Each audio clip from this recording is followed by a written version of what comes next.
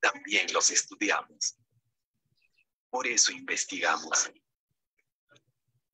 Para dar a todos lo mejor.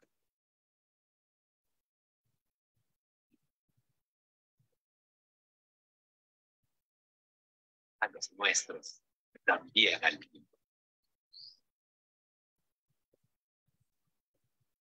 Estudia farmacia y bioquímica en Cayetano. La vida está llena de detalles. Los hallamos afuera. Nos rodean. Y los detalles nos sorprenden. Los tenemos para con otros.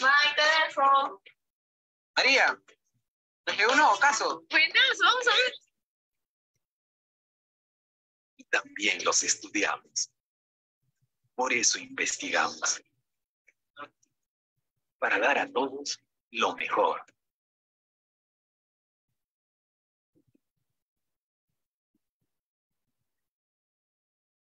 A los nuestros, también al mundo. Estudia farmacia y bioquímica en Cayetano. La vida es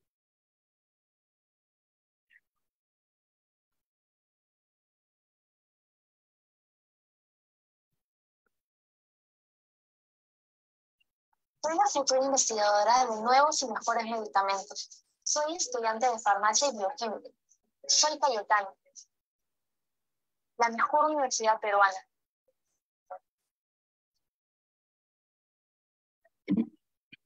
También elige la excelencia y el prestigio de Cayetano.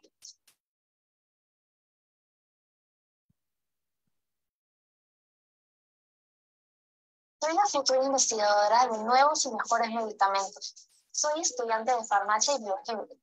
Soy Cayetano, la mejor universidad peruana.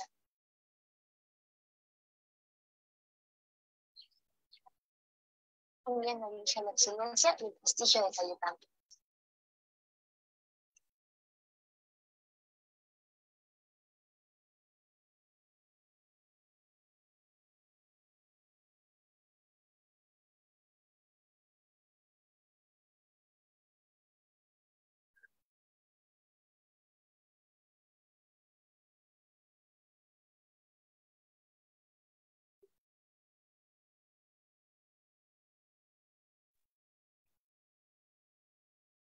Muy buenos días, estimados participantes y docentes. Mi nombre es Marisol Quinde Vázquez, estudiante de la carrera de Farmacia y Bioquímica de la Facultad de Ciencias y Filosofía de la Universidad Peruana Cayetano Heredia. Sean todos bienvenidos a nuestro primer webinar internacional titulado Importancia de la proxenética clínica en el ámbito hospitalario, organizado por los estudiantes de Farmacia y Bioquímica del curso de Farmacia Hospitalaria y Atención Farmacéutica que tiene como coordinador adjunto al doctor Mario Viñas Vélez. Como sabemos, la farmacocinética describe cómo el organismo utiliza un fármaco y explica los procesos de liberación, absorción, distribución y eliminación, además del tiempo que duran tales procesos. Y hemos escogido este tema debido a que la monitorización farmacocinética es una responsabilidad fundamental de todos los químicos farmacéuticos al ser un componente integral en la atención farmacéutica. Con ello se busca conseguir resultados positivos para los pacientes hospitalizados que reciben este servicio. Últimamente, la práctica farmacéutica ha experimentado enormes avances en diferentes países del mundo pues diversos hospitales ofrecen monitoreo eh, terapéutico de medicamentos y otros servicios farmacéuticos especializados. Por ello, la integración de temas como la farmacocinética clínica dentro de la formación del químico farmacéutico mejora la comprensión e implementación del conocimiento y las actividades de farmacocinética poco desarrolladas que contribuyen en la eficacia terapéutica de los pacientes. El presente webinar tiene como objetivo brindar a los estudiantes de farmacia y bioquímica, profesionales de la salud y público general información actualizada sobre la farmacocinética clínica y su importancia, a través de la experiencia de distinguidos profesionales en el ámbito hospitalario, mostrando la figura del químico farmacéutico como líder en la optimización terapéutica de los pacientes hospitalizados. En este evento contaremos con la participación de tres químicos farmacéuticos especialistas de diferentes países que nos van a brindar sus conocimientos y experiencias en el campo de la farmacocinética a partir de los cuales podemos verificar su importancia. Por ello, le doy paso al doctor Mario Viñas Félix para el inicio del webinar. Adelante, doctor. Muchas gracias, Marisol.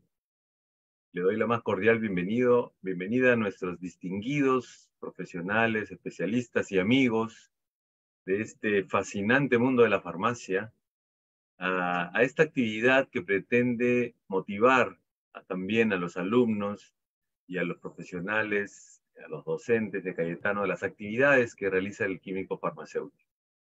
Vamos a empezar eh, recordándoles que cada uno de ustedes tiene un máximo de 25 minutos y que las preguntas las haremos al final del webinar a cada uno de ustedes.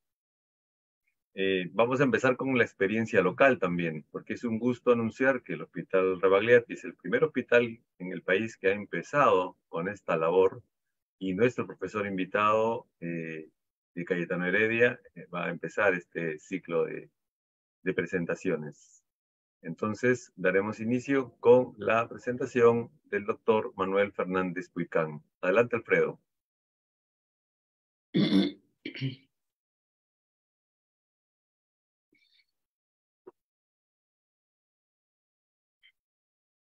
Mm. Ah, Manuel, químico farmacéutico Manuel Fernández Puicán, de Perú, químico farmacéutico de la Universidad Nacional de Trujillo, egresado de la segunda especialidad en farmacia clínica de la Universidad Nacional Mayor de San Marcos, ah, con maestría en farmacocinética clínica e individualización posológica de la Universidad Miguel Hernández Elche de España, participante del 38 curso de monitorización de fármacos en la práctica clínica de la Universidad de Salamanca, España, magíster en docencia universitaria de la Universidad César Vallejo, docente de pregrado de la Escuela de Farmacia y Bioquímica de la Universidad Peruana Cayetano Heredia y la Universidad Privada Norbert Wiener, y químico farmacéutico asistente encargado del área de la farmacocinética clínica del Hospital Nacional Edgardo Revaliati Martínez. Bienvenido, Manuel, y adelante con la presentación. Muchas gracias. Este, nuevamente el saludo, buenos días a todos. Eh, bueno, personalmente me siento muy contento, muy honrado con la invitación. Eh, estoy rodeado de, profesionales del campo de la farmacocinética clínica que ya tienen una experiencia eh, de repente un poco mayor en tiempo, ¿no? y eso realmente me, me honra bastante y como dijo el, el, doctor Mario, ¿no? Este, orgullosos de que, bueno, en el Perú ya se dio, eh, haya dado inicio al desarrollo de la, de la, farmacocinética clínica y en el Hospital Rebagliati eh, ya estamos observando la participación, la intervención directa del farmacéutico clínico en la eh, terapia del paciente, ¿no? en la optimización de la terapia del paciente que es muy importante ¿no? como a nosotros como, como grupo de profesionales. Entonces, bueno, pasaré a, compartir la pantalla en estos momentos. Vamos a ver. Está. Eh, solamente eh, me confirman si se aprecia adecuadamente eh, para, para, dar inicio. Sí. Listo, gracias. Entonces, eh, bueno, eh, en el caso mío me, asignaron el tema de importancia de la farmacocinética clínica en el uso de antimicrobianos. Entonces, siempre cuando yo hablo de antimicrobianos en algún, en algún curso, en alguna charla, ponencia, eh, resalto el uso de antimicrobianos porque si bien es cierto, nosotros como farmacéuticos vamos a manejar, eh, somos los responsables, ¿no? los expertos en el uso del medicamento de los distintos grupos farmacológicos. Sin embargo, por ejemplo, eh, cuando estamos en el servicio de cardiología, ¿no? el cardiólogo maneja sus medicamentos cardiovasculares, ¿no? nosotros complementamos ese manejo. ¿no? Igual sucederá en el servicio de nefrología, el nefrólogo sí conoce, ¿no? Vamos, conocen, conocen su grupo de medicamentos. Pero cuando se trata de antimicrobianos, los antimicrobianos, eh, si bien es cierto la especialidad que los maneja es infectología en primer lugar, pero se utilizan en los demás servicios. Cardiología usa los antimicrobianos, este, nefrología usa los antimicrobianos, etc. Y entonces eh, el detalle es que se observa ya con la experiencia, con el paso de, la residencia, por ejemplo, ¿no? en los tres años de residencia, que hay ciertas eh, deficiencias en algunos aspectos, pero más que deficiencias es este, necesidad de, de, algún conocimiento adicional, ¿no? Ya que precisamente nosotros como expertos en el medicamento y más aún con la farmacocinética, que es una disciplina ligada propia nuestra, entonces se observa esa necesidad ¿no? de ese conocimiento farmacocinético en antimicrobianos a nivel de todo el hospital. Entonces, por, eso, por eso yo lo considero un grupo, todos los grupos farmacológicos son importantes, pero los antimicrobianos entonces tienen de repente ese plus. Entonces, em, bueno, como eh, me toca la primera ponencia, por acá he colocado algunas definiciones ¿no? de farmacocinética clínica, ¿no? Eh, bueno, es la disciplina ¿no? que aplica conceptos y principios farmacocinéticos, o sea, aplica la farmacocinética, empezando de la farmacocinética básica, elemental, ¿no? a nivel de humanos, ¿no? Para diseñar regímenes de dosificación individualizados. ¿no? Ese es, ese es el, punto clave, ¿no? regímenes de dosificación individualizado que optimicen la respuesta terapéutica de un, de un medicamento y minimicen la posibilidad de una reacción adversa al medicamento, siempre buscando ese equilibrio ¿no? entre eficacia y seguridad, entendiendo que por encima de todo siempre está la eficacia, ¿no? La, seguridad siempre va en, en, segundo plano, no en segundo plano, sino después de la eficacia. Entonces, eh, también necesitamos conocer este término, ¿no? El término, bueno, las siglas en inglés TDM, Therapeutic Drug Monitoring, ¿no? En español sería monitorización terapéutica de fármacos, ¿no?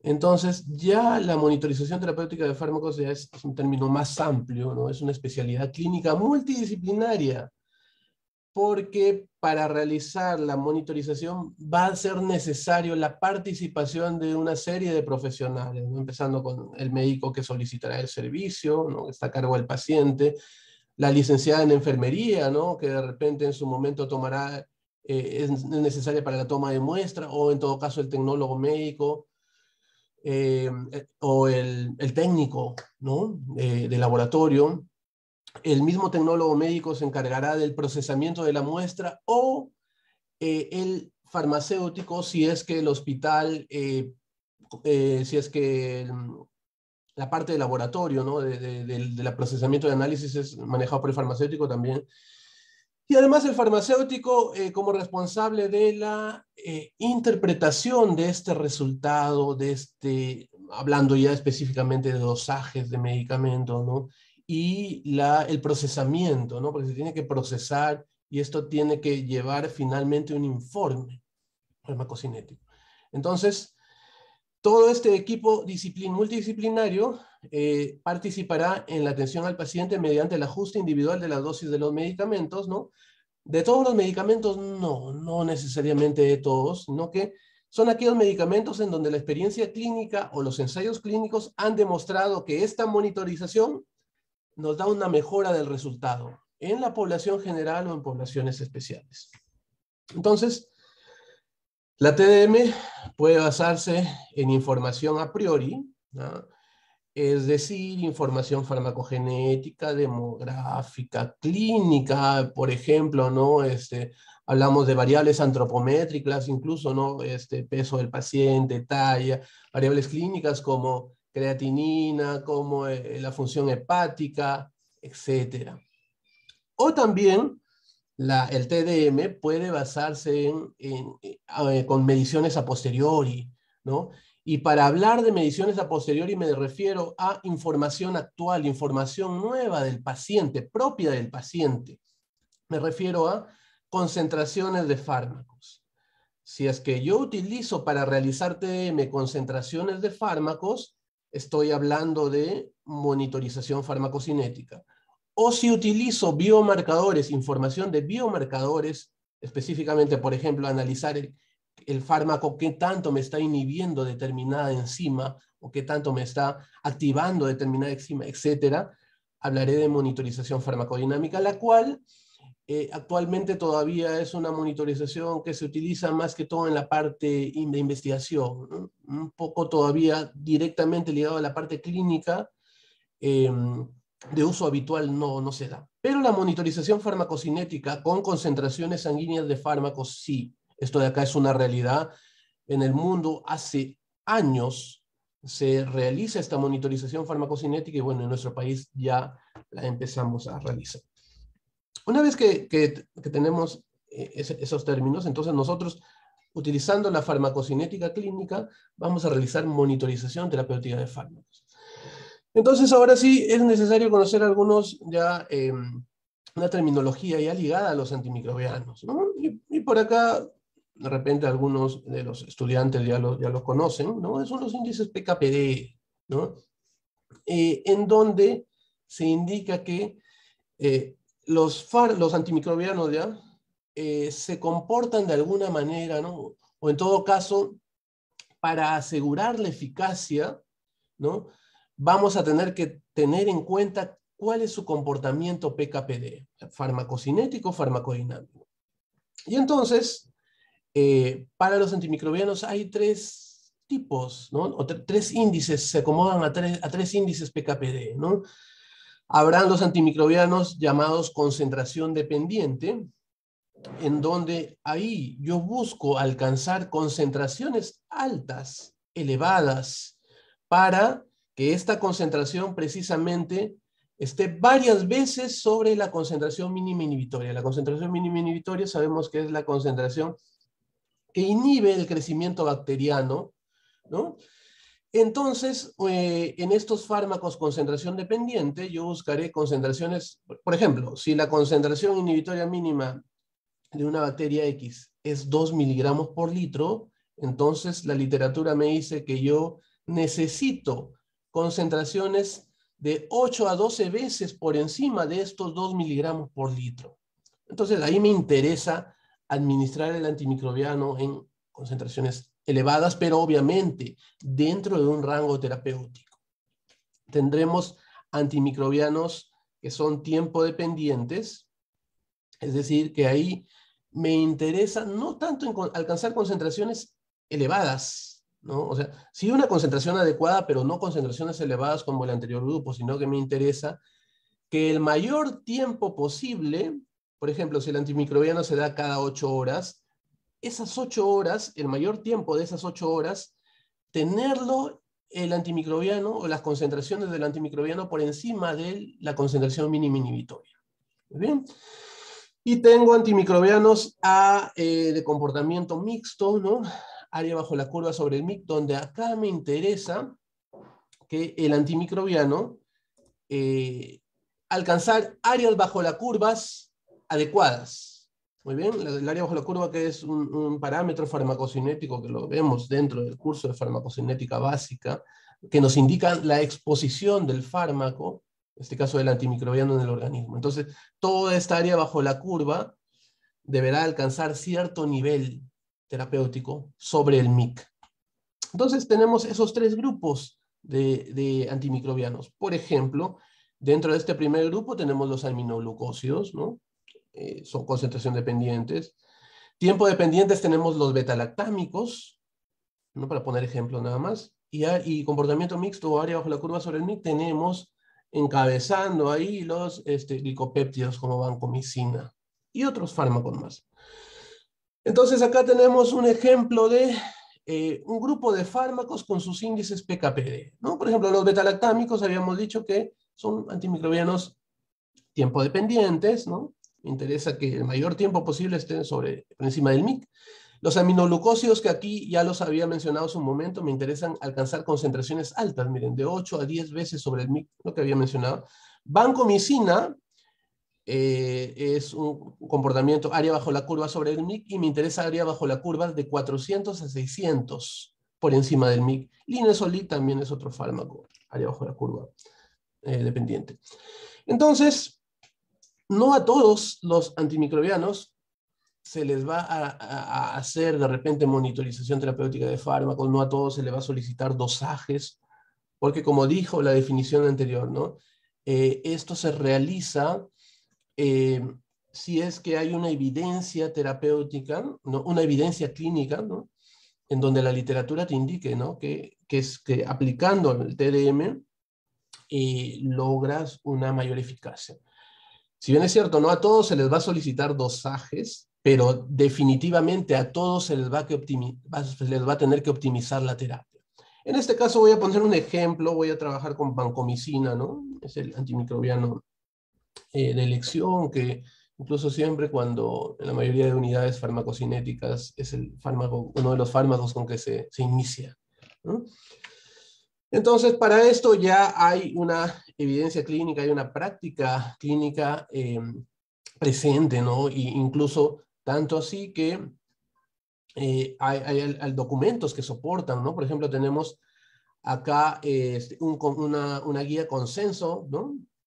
revisada, propuesta ¿no? por la Sociedad de Farmacéuticos del Servicio del Sistema de Salud, la ICSA, que es la Sociedad Americana de Enfermedades Infecciosas, la Sociedad de Enfermedades Infecciosas Pediátricas y la Sociedad de Enfermedades Infecciosas eh, y la Sociedad de Farmacéuticos de Enfermedades Infecciosas. Entonces, hay, un, hay documentos y para que haya este documento quiere decir que ya ha habido ensayos clínicos o ha habido estudios que me avalen esta, esta guía, ¿no? En este caso es de vancomicina para estafilococos aureus resistentes a meticilina. Entonces, vamos a poner eh, y una vez el ejemplo ya eh, netamente, ¿no? Para, para, abordarlo en la práctica clínica, lo que se hace el día a día, ¿no? Entonces, tenemos un ejemplo, un caso de aplicación, ¿no? De, TDM, ¿no? Es un paciente de 33 años con las iniciales CPHE, ¿no? Ingresa a emergencia el 12 de septiembre del 2022. ¿no? Como antecedentes, me, este, médicos niega antecedentes de hipertensión, diabetes mellitus, niega antecedentes quirúrgicos, niega alguna reacción adversa medicamentosa, recibió su vacuna anti-COVID. Entonces, el paciente ingresa porque más o menos 12 días atrás del ingreso estamos hablando antes del 12 de septiembre, presentó cefalea en el izquierdo, ¿no? parcialmente cedían con analgésicos. Siete días antes del ingreso presentó náuseas y vómitos después de ingerir los alimentos, hipo, eh, además cursó con hipofonía, debilidad, parestesias en miembros inferiores, limitación funcional, al momento no puede ambular, no puede escribir. Entonces, los diagnósticos de ingreso en emergencia fueron estos dos diagnósticos. Un proceso expansivo intracraneal y una probable mielitis aguda, secundaria a este proceso expansivo. Entonces, esos diagnósticos de ingreso son del 12 de septiembre. Ahora, en el transcurso del tiempo pasaron una serie de situaciones, una de, incluso aparecieron ciertos diagnósticos, yo los he puesto resumidos nada más. Por ejemplo, ¿no? el 23 de septiembre ya el paciente ingresa a UCI, ¿no? Estamos hablando, el 12 de septiembre ingresó a emergencia, el 23 de septiembre ingresa a UCI. Se entiende que eh, el paciente eh, tuvo complicaciones, ¿no? Ingresa con una insuficiencia respiratoria aguda, ingresa ya en ventilación mecánica, continuaba con el diagnóstico del proceso expansivo intracraneal, ¿no? Probable metastásico, o sea, por ahí se empezó a buscar si hay una neoplasia o un proceso infeccioso y además una neumonía, neumonía aspirativa. Miren, de septiembre llega a noviembre, ¿no?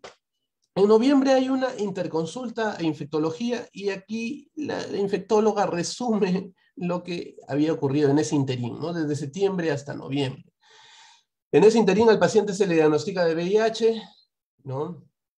En estadio 3, eh, recién diagnosticado, ¿no? Tiene un conteo bajísimo de CD4, ¿no? Eh, se observan múltiples lesiones cerebrales. ¿Qué más se le inicia? Tratamiento de cotrimoxazol, ¿no? Por una primera posibilidad de diagnóstico de toxoplasmosis. El paciente eh, no tenía, o sea, la parte infecciosa permanecía elevada y decide iniciar tratamiento anti-TBC, a pesar de no tener un, de repente un diagnóstico confirmatorio, pero se le da. Por acá también la carga de citomegalovirus alta, ¿no? propio de pacientes con VIH, no tienen más riesgo de citomegalovirus, inicia ganciclovir, y actualmente picos febriles y reporte de cocos gran positivos en hemocultivo y orocultivo. entonces se decide iniciar tratamiento antimicrobiano para cubrir estos cocos gran positivos. Entonces ahí es donde se hace el llamado a la, em, por medio del infectólogo, la UCI tiene su propio infectólogo, por medio del infectólogo nos llaman y nos dicen que requieren la monitorización de vancomicina. Fue uno de los primeros casos eh, que tuvimos. Entonces, la dosis de vancomicina, ¿no? para, para que conozcan, es usualmente, usualmente, digo, una dosis estándar y que de repente se tiene un, ya un hábito a nivel hospitalario de un gramo cada 12 horas, que realmente em, no aplica a todos los pacientes. Sabemos que en el hospital lo, lo aplican esa dosis hace muchos años. Es una dosis que lo tienen todos los, los, médicos, personal médico mentalizada. Y por lo tanto siempre inician así. Ahora, el detalle es que no aplica en todos los pacientes y menos aún en pacientes de UCI, que yo sé que eh, el doctor Roberto lo, lo, explicará más detalle, ¿no? Eh, y entonces, pero se le da mil cada 12 horas. Se le da una primera dosis y luego se le da eh, una segunda dosis y nos llaman, nos llaman para iniciar, para individualizar la dosis y seguirlo al paciente. Entonces, esto, esto de acá obviamente se hace eh, lo, bueno, lo usamos así, eh, lo hacemos con un software, sabemos que hoy en día para realizar farmacocinética clínica, para eh, realizar monitorización, es necesario ciertas metodologías y la más precisa es la estimación bayesiana, ¿no? Que obviamente eso ya es para hablarlo en, o en otra oportunidad, no dar más detalles de los métodos de monitorización. Pero bueno, Acá usamos esa metodología y entonces tuvimos dos resultados del dosaje, ¿no? Se hace un dosaje eh, antes de la administración de las 10 y media, de, la dosis de las 10 y media, y se hace un dosaje a, las a la 1 y media, ¿no? Entonces, obtenemos un, un, nivel de 3 y un nivel de 15. ¿Para qué nos sirven estas dos, estos dos niveles? Estos dos niveles nos sirven mínimos para, recuerden lo que dije, vancomicina es un antimicrobiano que necesitas calcular el área bajo la curva entonces, esos dos niveles, bueno, nos ayudarían a calcular el área bajo la curva. Y por lo tanto, eh, bueno, además de eso, eh, tenemos la, la, creatinina, ¿no? Las creatininas del paciente eran bastante bajas, 0,29, 0,36, por múltiples factores, ¿no? Por un paciente postrado, por el estado nutricional. Tal vez un paciente con clínica renal aumentado, ¿no? aunque ese no es el diagnóstico, ¿no? con clínica renal aumentado son los pacientes llamados hiperfiltradores, que la manera de diagnosticarlo es diferente. Pero bueno, los dejamos ahí, ¿no? las posibilidades. Y entonces, si al paciente se le seguía administrando un gramo cada 12 horas como habitualmente se, se administra el medicamento, miren qué obteníamos. Vamos a centrarnos en el área bajo la curva y vamos a tener un área bajo la curva de 241. Les di, mencioné hace un momento que el área bajo la curva para vancomicina es de 400 a 600. Entonces, definitivamente con el paciente íbamos a quedarnos cortos, ¿no?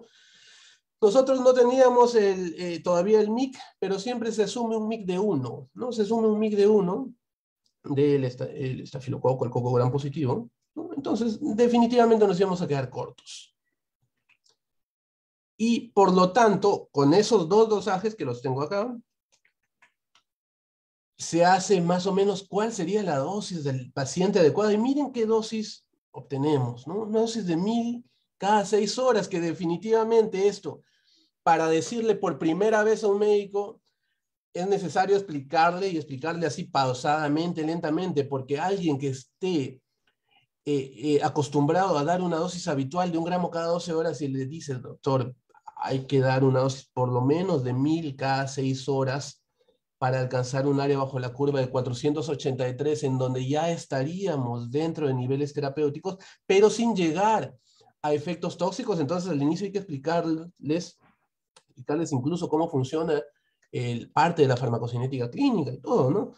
Pero efectivamente, eh, la respuesta del médico fue, ¿Sabes, ¿Sabes qué me dijo? Con estas monitorizaciones nos hemos dado cuenta que nos han abierto los ojos.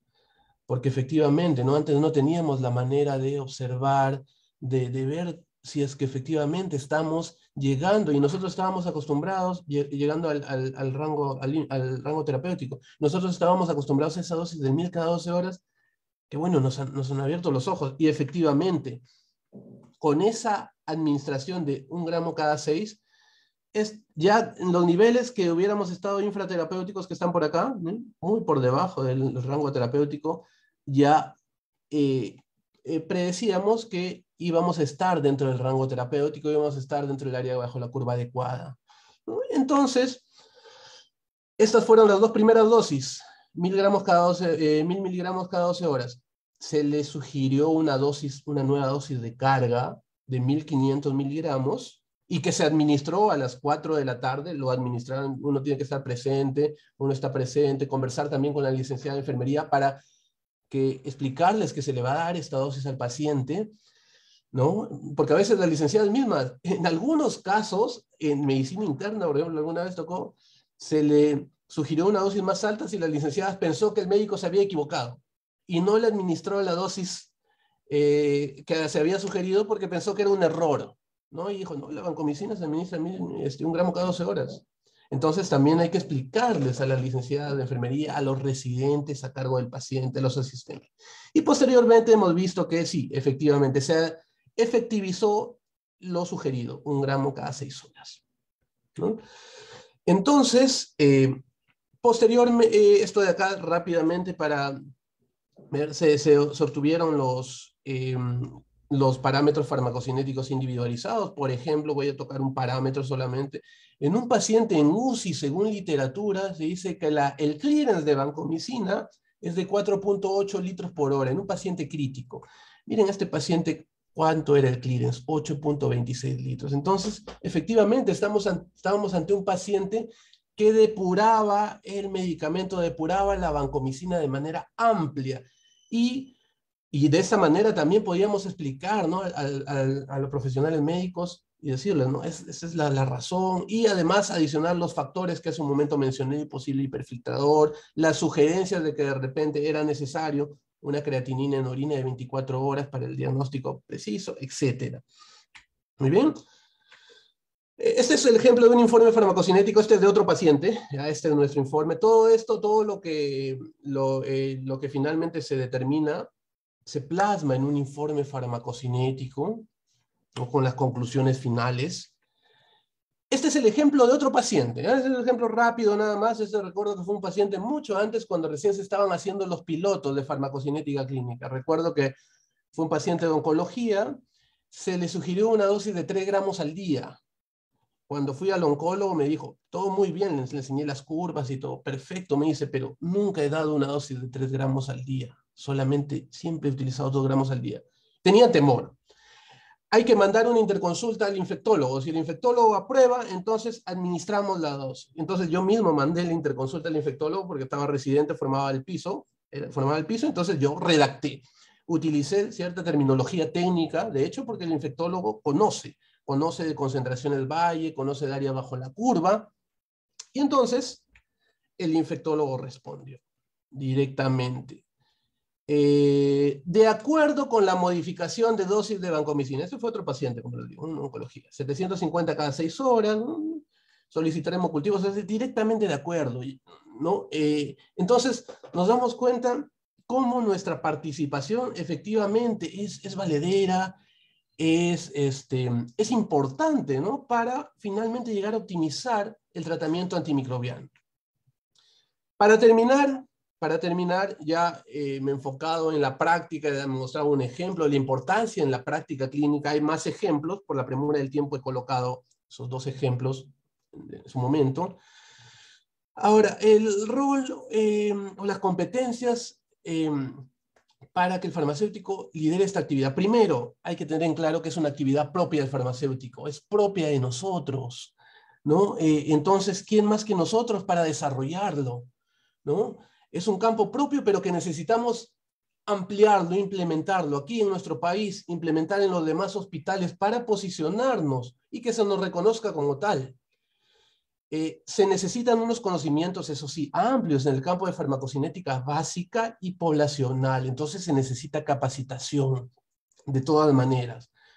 Em, es necesario prepararse incluso de manera internacional ¿no? Eh, eh, por mi parte he tenido que hacerlo de esa manera, asistiendo a cursos, a webinar, bueno, al máster de farmacocinética, Entonces, es necesario, eso sí, una capacitación adicional.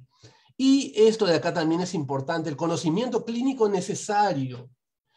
Cuando uno llega al servicio de hospitalización, el médico directamente te dice, ¿no? Es un paciente que tiene tales características, multioperados, se sospecha de sepsis, empieza a hablarte así como si tú fueras un interconsultor, ¿no? Como si llegara el neumólogo para un inter responder una interconsulta, como si llegara el cardiólogo, llega el farmacéutico clínico. Entonces, tú tienes que estar preparado para entender lo que te está diciendo, la información que te está dando y tú a la vez este, responderle, solicitarle datos. Entonces es necesario un conocimiento clínico amplio. Por lo tanto, se necesita la especialización en farmacia clínica y o farmacia hospitalaria con conocimientos clínicos. Muy bien. Entonces, para reflexionar, ¿no? Esto es una frase de Alexander Fleming, la persona irreflexiva que juega con penicilinas, ¿no? Es moralmente responsable de la muerte del hombre que finalmente sucumbe a la infección por el organismo resistente a la penicilina. Él en ese momento decía, espero que este mal se pueda evitar. Hoy en día sabemos que la resistencia es una realidad. Las frases de, de Alexander Fleming se hizo realidad. Por lo tanto, está en deber del farmacéutico optimizar la terapia, muy bien, asegurar eficacia y optimizando la terapia, alcanzando una concentración adecuada, evitar, tratar de evitar que la resistencia de ciertos antimicrobianos que todavía nos sirven, entonces llegue a ocurrir. Muy bien. Gracias por, por gracias por el, por el tiempo, por la, por, el, por la atención. Estoy, bueno, gracias con todos. Excelente, Manuel. Muchas gracias a ti por esta excelente presentación. Y en aras del tiempo vamos a dar paso ahora a nuestra siguiente invitada. Nos vamos al otro lado del mundo. Ya, ya son seguramente las 5 de la tarde. Eh, y para mí es un enorme placer presentar a la doctora Edurne Fernández de Gamarra. Y sobre todo por lo creo yo, hasta histórico de lo que representa el Hospital San Pablo de Barcelona, España, en el desarrollo de la farmacia clínica. Pues lo que ya pintamos canas, sabemos desde su líder y fundador, don Joaquín Bonal, cómo la farmacia clínica nace, crece y se desarrolla en España gracias al, al impulso de este hospital. Bueno, pues desde ahí nos acompaña Edurne esta mañana y le pido a Alfredo que lea su hoja de vida.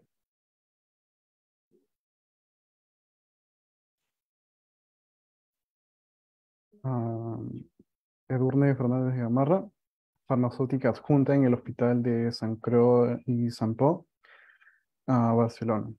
Presidenta de la Sociedad Catalana de Farmacia Clínica, miembro de grupos del trabajo del CEF, tutora de residentes, Board Certified Pharmacotherapy Specialist y responsable del área de atención farmacéutica a pacientes críticos y pediátricos del área de farmacocinética clínica.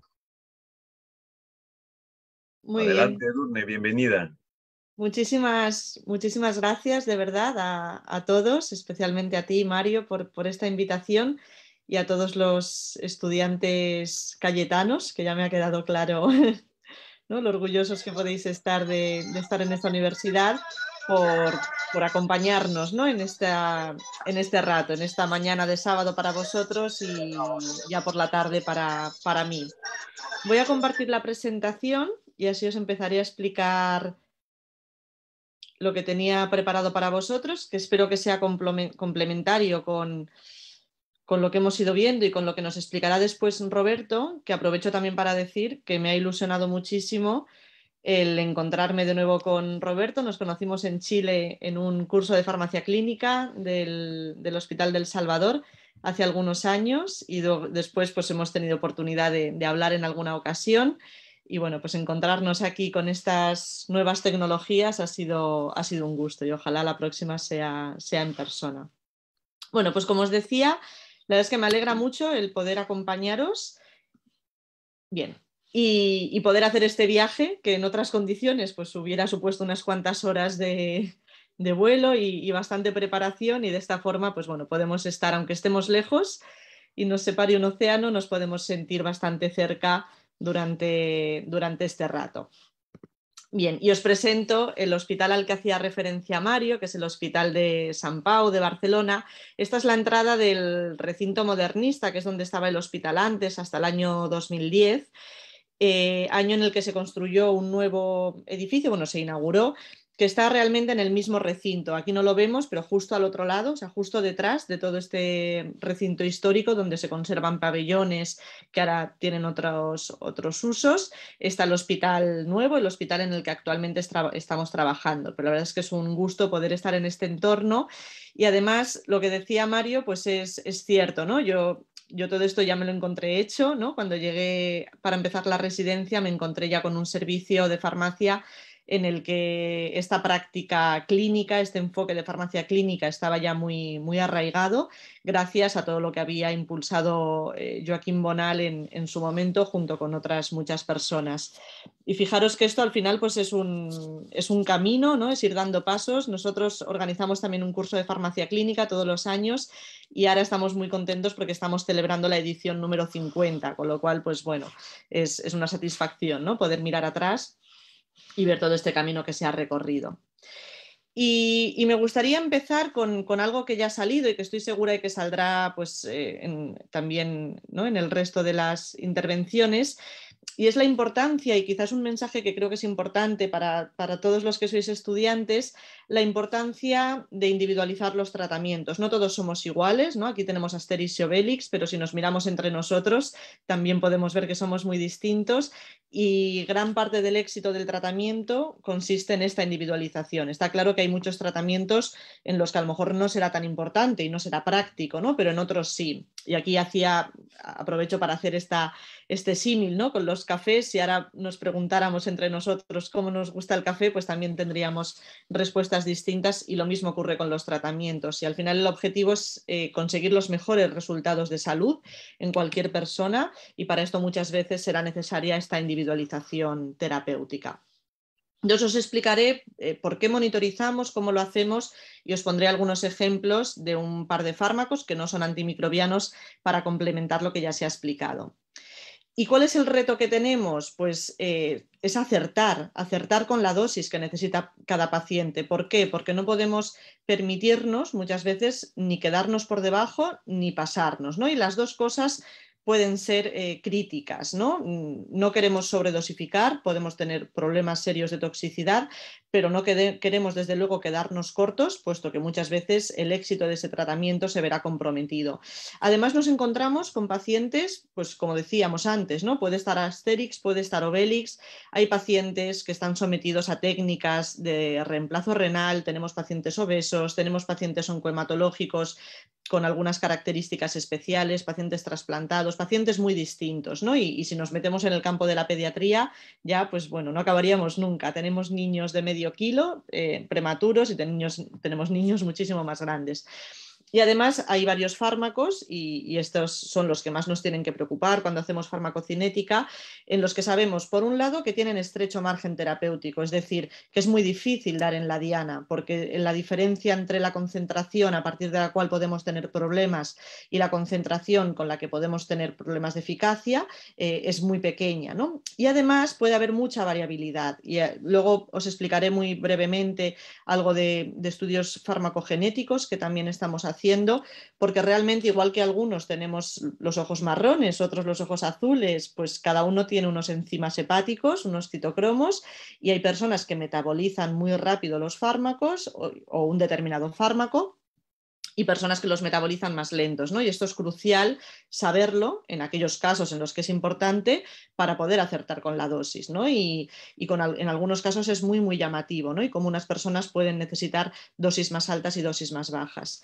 Y luego en esta variabilidad creo que también es importante destacar que incluso para una misma persona y un mismo fármaco, según lo que estemos tratando, podemos buscar concentraciones distintas. ¿no? Un ejemplo claro lo veríamos con algunos antibióticos. No es lo mismo tratar una neumonía asociada a la ventilación mecánica, una infección en un tejido al que es difícil acceder, que una infección de orina, por ejemplo, que una bacteriemia, pero ocurre también con otros fármacos. Si estamos usando un inmunosupresor en un paciente que, ha recibido un trasplante, no buscamos el mismo objetivo en las primeras semanas después del trasplante que un paciente que lleva ya 10 años con un trasplante de corazón o de riñón, ¿no? O incluso con fármacos, luego os pondré un ejemplo del metotrexate, que es un antineoplásico, pues no buscamos lo mismo en cuanto a concentraciones cuando se utiliza para tratar un sarcoma, un osteosarcoma, que si se utiliza para tratar una leucemia. perdón. Con lo cual, esta variabilidad en cuanto a las indicaciones y el objetivo que buscamos en cada caso, pues también es importante. Con lo cual, pues bueno, necesitamos ¿no? el poder encontrar herramientas que nos ayuden a monitorizar esta eficacia y esta seguridad. Y también, eh, antes de seguir, me gustaría mm, eh, intentar plasmar esta visión global de cualquier paciente, puesto crítico, pero en realidad no tiene por qué ser, bueno, alguna cosa sí que es más característica del paciente crítico, pero, pero en realidad yo creo que en cualquier paciente, y esto yo creo que es algo que para los que pronto empezaréis vuestra práctica asistencial, pues es, quizá una pista o una buena herramienta, el intentar siempre pensar en todo lo que le pasa al paciente. El paciente lo veremos ingresado por un problema concreto, a veces por más de uno, pero bueno, normalmente con un diagnóstico y será eso lo que más nos preocupe, pero el paciente es, una persona con muchos órganos y todo esto puede estar muy relacionado, ¿no? Y a la hora de, de entender la farmacoterapia y el comportamiento de los fármacos es importante.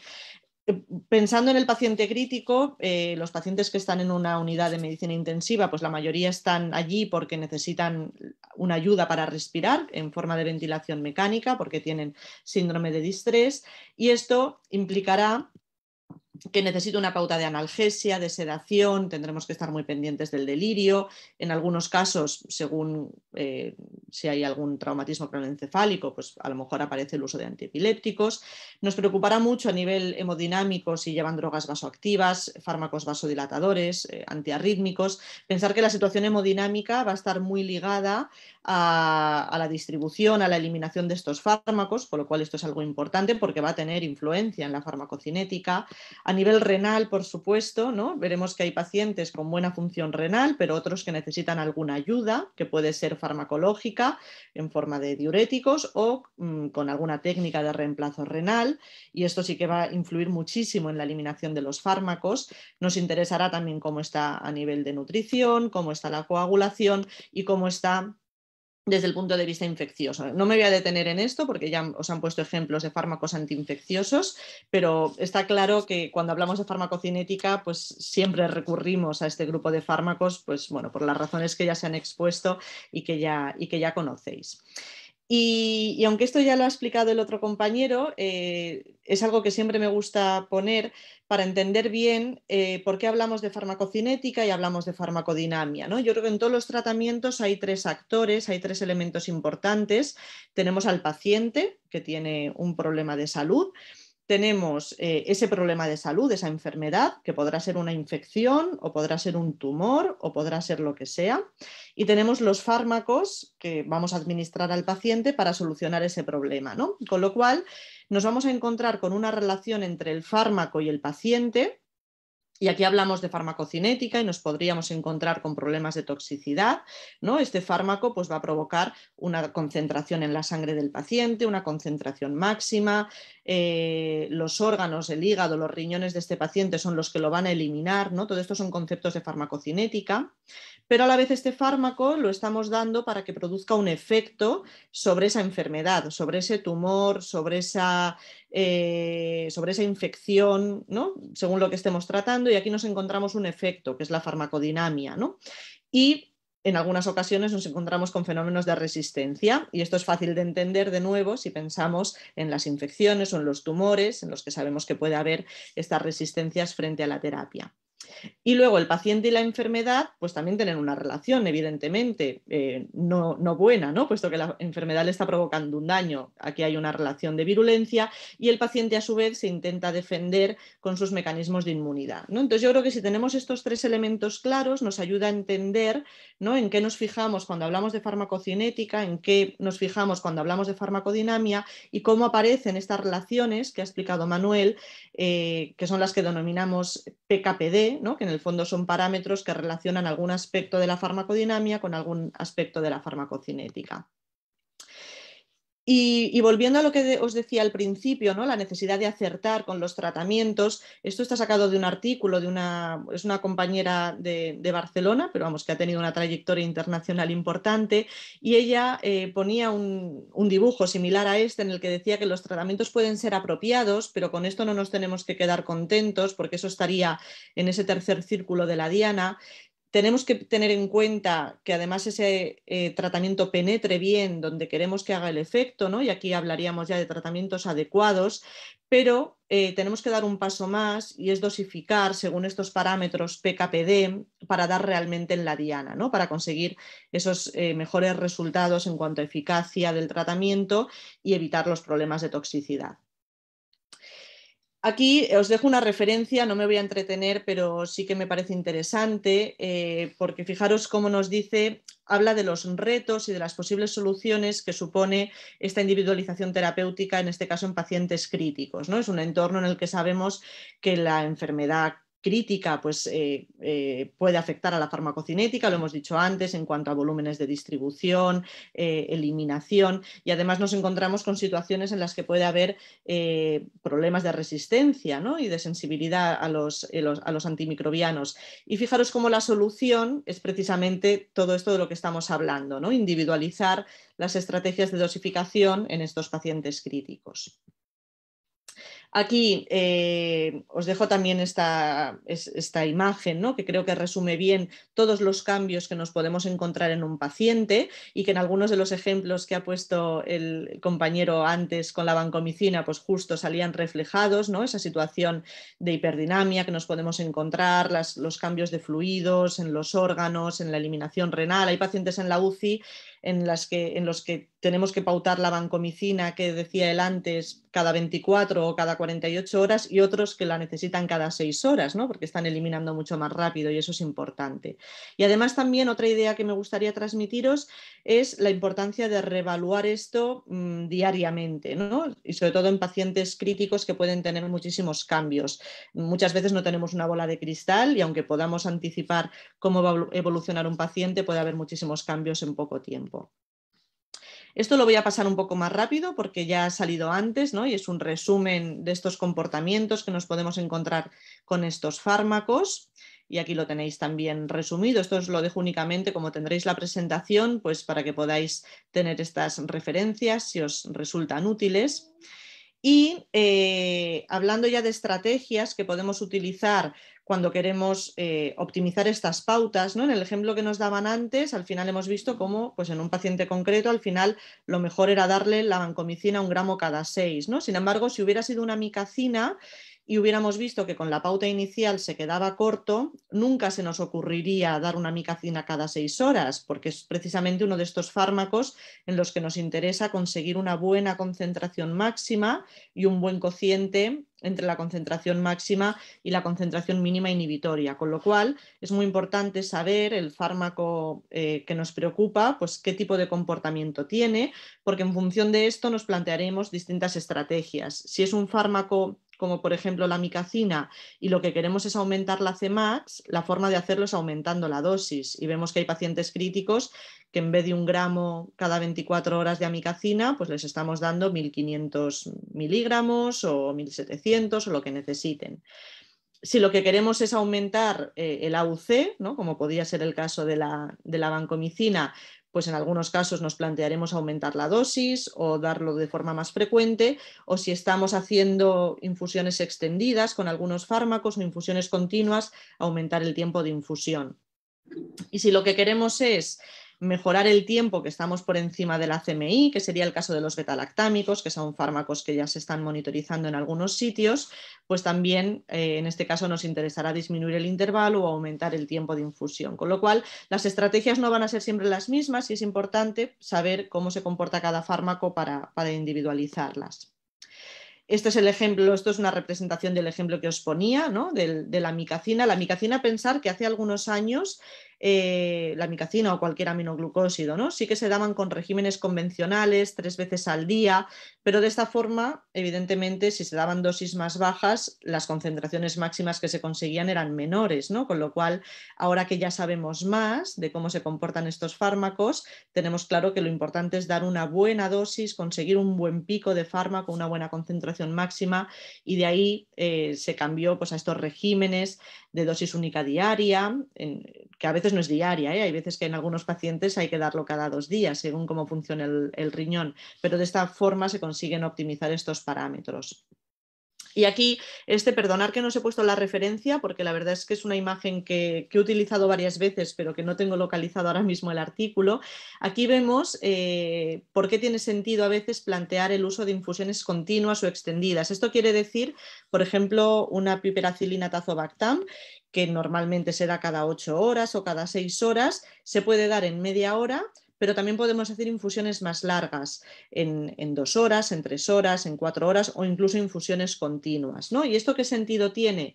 Pues imaginaros que estamos tratando un paciente que tiene una infección y tiene un patógeno que tiene una CMI baja. Esto es algo que es bueno, ¿no? Porque será más fácil de tratar. Y le damos estas dosis y conseguimos una buena concentración por encima de la CMI durante bastante tiempo. Pero sabemos que este patógeno pues, puede ir haciéndose resistente y puede llegar un momento en el que tenga la CMI mucho más elevada. Con lo cual, con la misma dosis, ¿no? porque aquí estamos dando la misma dosis, fijaros que el tiempo que estamos por encima de la CMI es mucho menor, ¿no? Con lo cual, pues esto ya no nos está interesando. Y una posible estrategia es hacer una infusión continua, ¿no? O una infusión extendida. Entonces, dando la misma dosis diaria, podemos conseguir estar todo el tiempo por encima de esa CMI, aunque sea elevada, ¿no? Entonces, esto es una aplicación muy clara de la farmacocinética y de cómo podemos optimizar estas pautas. Y aquí, nada, tenéis explicado lo que os estaba diciendo, ¿no? No siempre tendrá sentido hacer una perfusión continua o extendida, ¿no? Y un ejemplo claro son estos fármacos tiempo dependientes. No nos lo plantearíamos con una micacina, que es concentración dependiente. Y también es importante pensar cuándo tenemos que dar una dosis de carga, ¿no? Para llegar pronto a esas concentraciones plasmáticas que nos interesan, ¿no? Y vemos que hay varios fármacos con los que están descritas estas pautas o se debe hacer así. ¿Y por qué monitorizamos? Esto creo que ya ha quedado bastante claro, pero únicamente así como, como, repaso, porque queremos acertar, queremos dar en esta diana del margen terapéutico y no queremos tener ni problemas de toxicidad ni problemas de eficacia. Y las dos cosas nos preocupan mucho. Y además sabemos que hay variabilidad entre individuos, no todos tenemos los mismos genes, no todos nos comportamos igual, puede haber problemas de adherencia, ¿no? Con lo cual, pues a veces nos imaginamos un mundo ideal en el que al paciente le damos una pauta de inmunosupresor, nos imaginamos que lo va a tomar eh, todos los días a la misma hora, mm, va a ser cumplidor con el tratamiento, pero esto luego pues muchas veces no es así por distintas causas, o algún día se lo tomará con una comida, otros días con otra, con lo cual podemos tener ahí una fuente de variabilidad. Las interacciones nos preocupan mucho y luego cuando nos encontramos con poblaciones o con tratamientos especiales. ¿Y qué necesitamos para monitorizar? Pues lo primero, necesitamos conocer el margen terapéutico de ese fármaco, ¿no? Si ahora apareciera un nuevo fármaco y dijéramos, bueno, pues lo vamos a monitorizar porque sabemos que esto es muy interesante, si no tenemos claro el margen terapéutico, mediremos la concentración en sangre, pero no sabremos cómo interpretarlo, con lo cual, pues el primer paso es este, ¿no? Conocer el comportamiento farmacocinético, disponer de la técnica, ¿no? Es el, claro, si no tenemos la técnica, pues no podremos medir las concentraciones. Conocer las herramientas para el estudio farmacocinético. Antes eh, mencionaban el método bayesiano, que efectivamente pues, es el que nos da eh, más información, pero también hay algunas otras posibilidades. Y luego es muy importante, y esto creo que también, eh, bueno, me gustaría que quedara este mensaje claro, es conocer el impacto de la monitorización. ¿no? Imaginaros que ahora con un antibiótico determinado nos planteamos monitorizarlo, pero al final vemos que los pacientes se curan igual o tienen los mismos resultados si lo monitorizamos o si no lo monitorizamos, pues, pues a lo mejor no es necesario monitorizarlo, ¿no? O sea que poder medir este impacto es muy importante. Bien, aquí os dejo un, resumen de lo que necesitamos para poder hacer un estudio farmacocinético. Al final lo que necesitamos es información, peso, función renal, eh, talla. Lo hemos visto con el ejemplo que nos han dado antes. Y podemos monitorizar de distintas maneras. ¿no? En algunas ocasiones mediremos la concentración mínima, en otras la máxima, en otros el AUC y al final todo esto nos va a servir para individualizar las pautas. Necesitamos información del paciente, necesitamos eh, esta visión clínica, información del tratamiento y tener muy claro cuál es el objetivo de ese tratamiento ¿no? y saber, pues, eh, incluso a veces mm, qué plan hay, ¿no? si va a durar muchos días más eh, o menos, porque esto pues, puede, puede influir.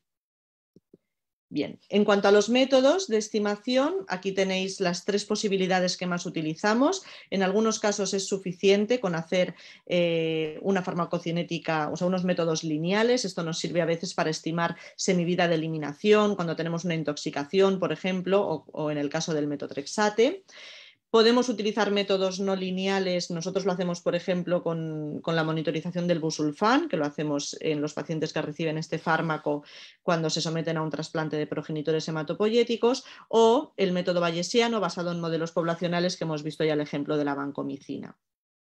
Os dejo también esta referencia porque creo que resume muy bien, es de hace ya bastantes años, pero creo que es un artículo pues así de cabecera para situarse, porque fijaros que responde a todas estas preguntas, qué pacientes son candidatos a monitorización, en qué dosis, en qué momento, bueno, todo esto que tenéis aquí. Os recuerdo de nuevo la importancia ¿no? de fijarnos en estos pacientes especiales, como pueden ser, por ejemplo, los pacientes obesos, y aquí nos podemos encontrar con situaciones en las que realmente la monitorización nos ayudará muchísimo. Pensar que hay pacientes que son tres veces eh, el paciente mm, tipo para el que están descritos muchos tratamientos. Y ya para terminar, eh, me gustaría explicaros nada muy brevemente lo que nosotros monitorizamos. Eh, principalmente antimicrobianos, antibióticos, algún antifúngico también, fármacos antineoplásicos como el metotrexate, el busulfán, la asparraginasa, la actividad asparraginasa en este caso, fármacos inmunosupresores, fármacos antipilépticos y también otros fármacos como la cafeína o la, digoxina. Estamos ampliando ahora eh, la cartera de servicios en cuanto a monitorización de antibióticos y muy pronto esperamos poder hacer eh, betalactámicos, linezolid, bueno, varios fármacos más. Y también tenemos ahí pendiente eh, empezar con los anticuerpos monoclonales que se están utilizando en enfermedades pues, de digestivo o de reumatología. Y eh, no sé cómo voy de tiempo, la verdad, pero creo que sí que me da tiempo a explicaros brevemente un par de ejemplos que tenía. Este primero es sobre la monitorización del metotrexate, que como os decía antes es un fármaco antineoplásico que se puede utilizar en condiciones muy distintas. En el osteosarcoma se utiliza dosis muy muy altas. ¿Por qué? porque lo que queremos es conseguir una buena concentración máxima. Aquí fijaros cómo eh, sería de nuevo una aplicación de estos eh, índices PKPD. En el osteosarcoma se ha visto, y esto hay un estudio muy bonito de los años 80, donde se veía que los pacientes que conseguían concentraciones máximas por encima de 1000 micromoles litro se curaban más, ¿no? con lo cual está clarísimo que tenemos que intentar llegar a esa concentración. Y nosotros lo medimos siempre. Y en aquellos pacientes en los que en el primer ciclo no llegan a esa concentración, que a veces pasa, por suerte quedan muchos más ciclos en los que se puede optimizar. Y aquí lo que hacemos cuando no conseguimos esa concentración máxima es disminuir el tiempo de infusión. No aumentamos la dosis porque ya es una dosis muy alta la que llevan y de esta forma podemos ayudar a mejorar la eficacia del tratamiento. Pero luego nos preocupa mucho que el fármaco se elimine bien, con lo cual Mediante farmacocinética lineal lo que hacemos es estimar la semivida de eliminación en la primera fase y también en la segunda y de esta forma valoramos el riesgo de toxicidad, podemos optimizar los rescates con folínico que necesitan estos pacientes y, podemos evitar pues, problemas de toxicidad sobre todo a nivel renal. Y luego el segundo ejemplo que os traía sobre un inmunosupresor, eh, nos podemos encontrar pues, un día con una paciente pediátrica candidata a trasplante de progenitores hematopoyéticos y en el trasplante hay dos fases del tratamiento muy diferenciadas. Por un lado tenemos el acondicionamiento, todo lo que se hace antes para preparar el trasplante y luego, después del trasplante, veremos una pauta de inmunosupresión, como consecuencia de la inmunosupresión, una pauta de profilaxis y tratamiento antiinfeccioso, manejo de las complicaciones y todo el tratamiento de soporte. Y en esta inmunosupresión aparece en algunos casos, en muchos casos, el tacrolimus. Y del tacrolimus os voy a, nada, a decir cuatro cosas así rápidas y es eh, qué hacemos nosotros para optimizar estas pautas, ¿no? fijándonos en el estudio farmacogenético, la monitorización, las interacciones o los cambios en la vía de administración, porque todo esto es farmacocinética realmente o individualización terapéutica. Entonces, en el caso del tacrolimus, es uno de estos fármacos en los que sabemos que no todos lo metabolizamos igual. Y aquí aparece el estudio del citocromo, es un estudio de farmacogenética que nos permite individualizar las pautas de inicio en aquellos pacientes que sabemos que lo van a metabolizar eh, más rápido o más lento. Entonces, en este caso concreto, pues vimos que tenía este genotipo y esto se asocia con que es una metabolizadora lenta lo que ocurre con el tacrolimus es que las pautas habituales son las que están descritas para los metabolizadores lentos, ¿no? con lo cual le pudimos dejar la dosis que nos decía el protocolo y empezó con esta pauta. Tenemos un objetivo de concentraciones séricas, que para las primeras semanas es entre 5 y 8. Se fue monitorizando y le tuvimos que ajustar la pauta para conseguir realmente estar en este rango. Pero como con todos los fármacos de estrecho margen, pues tenemos que estar muy pendientes y nos preocupan mucho otros factores que puedan influir, ¿no? como es el caso de las interacciones o los cambios en la vía de administración, que es lo que tenéis aquí explicado.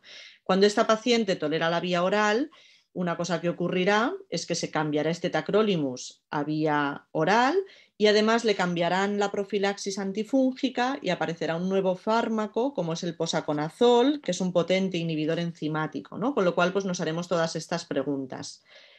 En el caso del cambio de vía de administración, fijaros que con el tacrolimus es muy, muy llamativo y, la biodisponibilidad es, es, muy baja por vía oral, con lo cual tenemos que multiplicar por cuatro las dosis cuando hacemos el paso de vía intravenosa o vía oral. Si esto no lo tenemos en cuenta, estaremos infradosificando al paciente o al revés, si un paciente que lo lleva por vía oral llega a urgencias y hay que ponérselo intravenoso, eh, si no hacemos esta conversión de forma correcta, podríamos intoxicarlo, ¿no? Con lo cual, pues bueno, esto hay que tenerlo muy presente. Y lo mismo ocurre con las interacciones. Las interacciones a veces pueden alterar muchísimo los tratamientos. En el caso de la interacción con posaconazol, lo que tenemos que hacer es reducir la dosis a un tercio, que también es una reducción muy, muy importante. Con lo cual, fijaros cómo este paciente que llevaba esta pauta de tacrolimus intravenoso, entre el cambio a vía oral y la adición al tratamiento de posaconazol pues acaba quedando con una pauta de 0,5 miligramos cada 12 por vía oral. Y todo esto son ejemplos de, las situaciones que nos encontramos y que tenemos que manejar para asegurar que al final ese paciente recibe esa dosis que nos permite estar en el margen terapéutico. Con lo cual, pues bueno, antes eh, han salido las definiciones de monitorización, de TDM, yo creo que al final la monitorización es mucho más que la farmacocinética. La farmacocinética es una herramienta que nos ayuda en esta monitorización, pero tenemos que tener otras cosas en, cuenta y al final pues es muy importante eh, participar en estos equipos clínicos. Aquí es importantísima la formación, ese programa de residencia que me consta que ya está en marcha en Perú, con lo cual es una buenísima noticia, ¿no? porque todo esto hará que los profesionales estén más formados y también que lo estén en estas áreas como es la, la farmacocinética, que ayudarán en la toma de decisiones, en la farmacoterapia y sobre todo en mejorar la atención a los pacientes. Con lo cual, pues termino con estas dos conclusiones, ¿no? y es que la individualización nos ayuda a optimizar la respuesta y la toxicidad a los fármacos, siempre teniendo claro este objetivo de mejorar la efectividad y disminuir la toxicidad de los tratamientos que reciben nuestros pacientes. Y os dejo otra imagen de, San Pau, del recinto modernista, que os, animo y os invito a visitar cuando tengáis la oportunidad. Y os agradezco muchísimo la, atención y, la invitación a, acompañaros en, en este webinar. Muchas gracias. Gracias a ti, Edurne, por esta brillante presentación, compartir toda tu experiencia. Eh, pero vamos a dejar algunas inquietudes para el final del webinar. Perfecto. Ok, entonces eh, pasamos a nuestra última presentación de este webinar con la presencia del doctor Roberto Amador desde Santiago de Chile. También tuvimos la suerte de tenerlo presencialmente en los buenos años aquí a Roberto a compartir toda su experiencia y de alguna manera eh, agradecer porque es cierto, son nuestros hermanos vecinos y nos han ayudado a, dar este, este paso aquí en el Perú. Y, ellos ya, a pesar de, tener una realidad similar, en realidad nos llevan alguna ventaja. Así que queremos aprovechar esa ventaja, Roberto, agradeciendo tu presencia y doy pase a Alfredo para tu presentación. Ya. Roberto Amador, de Chile, farmacéutico clínico de la unidad de paciente crítico del Hospital del Salvador, con máster en farmacocinética clínica e individualización posológica, diplomado en enfermedades infecciosas del adulto y diplomado en investigación clínica. Profesor agregado del Departamento de Medicina Interna Campus Oriente de la Universidad de Chile, instructor adjunto de la Pontificia Universidad Católica de Chile y director del curso de farmacia clínica del Hospital del Salvador. Bienvenido Roberto, adelante con la presentación. Muchas gracias, muchas gracias a todos. Eh, y yo solamente quiero empezar con palabras de gratitud y de alegría. Alegría por estar acá reuniéndome con ustedes, agradeciendo tu invitación, Mario, eh, la organización y todo lo que han hecho para que esta, esto resulte. Alegría nuevamente por reencontrarme, aunque sea en forma virtual, con una querida amiga que es Edurne, que tal como dice ella, ojalá nos podamos reencontrar prontamente ya más presencial. Y también eh, de, de agradecimiento por todos quienes están participando, tanto alumnos como eh, docentes, de esta actividad. Me solicitaron que pudiera hablar sobre experiencias de farmacocinética clínica, específicamente en lo que yo eh, laboro en el día a día, que es en la unidad de cuidados intensivos. Y quiero partir principalmente hablando de las bases de todo lo que hemos estado conversando. Cuando hablamos de cinética, hablamos de movimiento y queremos evaluarlo en un movimiento desde un compartimento A a un compartimento B. Si nosotros logramos estudiar esto, la velocidad que va a ocurrir entre el movimiento de las partículas de un compartimento A a un compartimento B, vamos a poder establecer esta velocidad con eh, ecuaciones bastante simples, como la diferencia del número de moléculas vista en un compartimento eh, dividido por el tiempo que ha transcurrido eh, entre esos dos momentos. Ahora, visto desde un punto de vista ya más matemático, porque la farmacocinética habla mucho de la matemática, podemos hablar de velocidad instantánea para poder evaluar esta diferencia de cantidad de partículas en, una, en un delta de tiempo. Y esta velocidad puede ser establecida por constantes o también puede estar establecida por constantes y además por cantidades que existen en el compartimento. Cuando, por lo tanto, hablamos entonces de farmacocinética, vamos a hablar de esta evaluación, ya vamos a hablar no de partículas, sino que vamos a hablar de fármacos. Y la farmacocinética, habitualmente nosotros la evaluamos en compartimentos, tal como lo expliqué en la diapositiva anterior. Por lo tanto, nosotros podemos evaluar esta velocidad que, que, tienen los fármacos en un compartimento con el modelo más simple monocompartimental de administración en bolo. Administramos una droga en una dosis D que va a llegar a un compartimento en una cantidad Q y se va a distribuir en un volumen que nosotros llamamos volumen de distribución. Y eso, y, y la eliminación de ese fármaco del compartimento lo vamos a explicar con una constante de eliminación y matemáticamente podemos hacer el estudio y obtener una ecuación que nos va a permitir evaluar las cantidades o las, las, las diferencias de cantidades en un rango de tiempo. Ahora, hablando de farmacocinética, nosotros sabemos que ese volumen en el cual se distribuyen los fármacos, nosotros lo evaluamos y lo establecemos con un volumen de distribución que es un volumen virtual. Y si estas cantidades las establecemos con ese volumen de distribución, podemos lograr tener unas ecuaciones que nos van a permitir establecer gráficos de concentración en el tiempo. Y esto, que nosotros lo vemos en un modelo monocompartimental, el más simple en bolo, vamos a poder establecerlo en distintos modelos. Obviamente que las, las fórmulas se van a complejizar, pero a través de esta farmacocinética compartimental vamos a poder establecer cómo se comportan las concentraciones en el tiempo, dadas los fármacos de distinta forma. Y tal como lo explicaron anteriormente, con la finalidad de que estas concentraciones lleguen a un rango terapéutico. Entonces, tenemos que estas curvas farmacocinéticas de concentración en el tiempo tienen que llegar a un cierto rango terapéutico y para poder darle alguna relación clínica. Y estas curvas están regidas por los parámetros farmacocinéticos que nosotros vemos anteriormente. Tenemos volúmenes de distribución, tenemos algunas constantes, fórmulas que nos permiten calcular concentraciones y tiempos de vida media, por ejemplo, y relacionar distintos parámetros farmacocinéticos con algunos valores específicos que nos van a determinar cómo vamos a poder dar los medicamentos.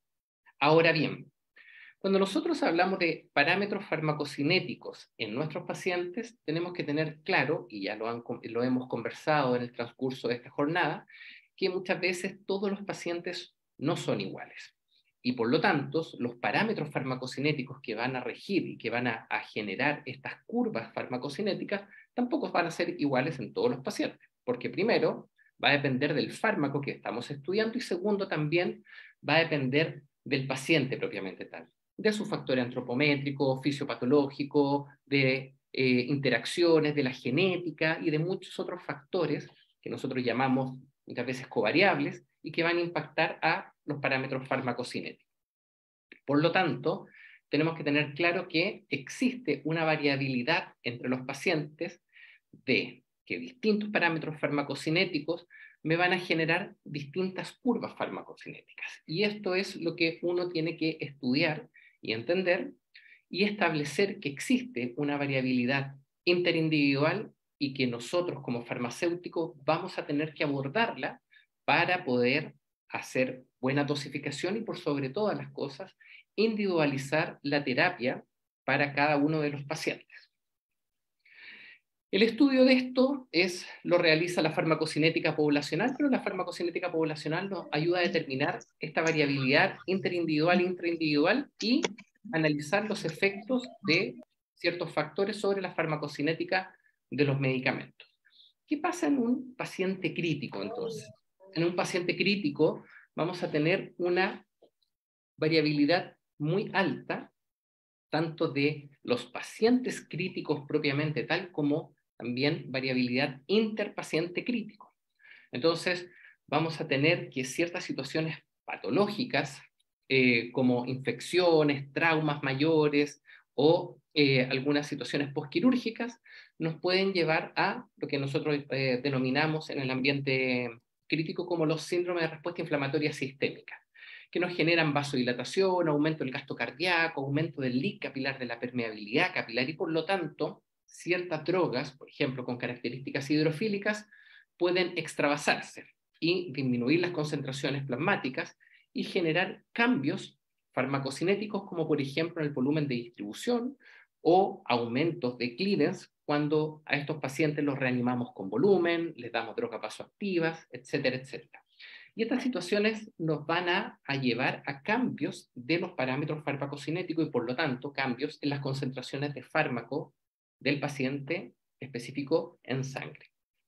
También en etapas más avanzadas, cuando ya tenemos falla de órganos, vamos a someter a los pacientes muchas veces a eh, terapias extracorpóreas como el ECMO, como la hemodiálisis, y eso nos puede llevar a alterar el volumen de distribución. O también cuando tenemos problemas de los órganos depuradores, cuando tenemos falla de órganos depuradores como el hígado o el riñón, nos puede llevar a disminuciones de clearance de los fármacos. Por lo tanto, todo esto, como farmacéutico, como equipo clínico en general, vamos a tener que saber abordarlo porque vamos a tener variabilidad de nuestros pacientes y por lo tanto las mismas dosis en un paciente van a generar distintas concentraciones en otro paciente. Y la cantidad de patologías que nosotros vemos en una unidad de cuidado intensivos y la gravedad es variada. Podemos tener neumonias vivasales, podemos tener pacientes con meningococcemias o isquemias intestinales o pacientes grandes quemados. Y todas estas situaciones fisiopatológicas nos van a generar aún más alteraciones de los parámetros farmacocinéticos. Y eso es lo que nosotros tenemos que abordar, porque esto está muy estudiado. Y en pacientes críticos sí se ha estudiado. existe una gran variabilidad interindividual en las mismas dosificaciones generan distintas concentraciones. Este es el eh, famoso trabajo DALI, que lo que hizo fue evaluar concentraciones de antibióticos betalactámicos en pacientes críticos. Las mismas, las mismas dosificaciones en todos los pacientes críticos que se incluyeron en el estudio. Y fíjense que acá que al 50% del intervalo de dosificación no se alcanzaban, ni al 100% de intervalo de dosificación, no se alcanzaban buenos porcentajes de concentraciones sobre la concentración inhibitoria mínima. En los gráficos que mostraba el grupo de Queensland, lo que hacían era que distintos fármacos betalactámicos mostraban las concentraciones a la mitad del intervalo y al, finalizar el intervalo de dosificación mostraban las concentraciones en esta escala que, ojo, es una escala logarítmica. Fíjense las tremendas dispersiones que generan dosificaciones estandarizadas en distintos pacientes críticos. Por lo tanto, algo vamos a tener que hacer para individualizar las dosificaciones en este tipo de pacientes.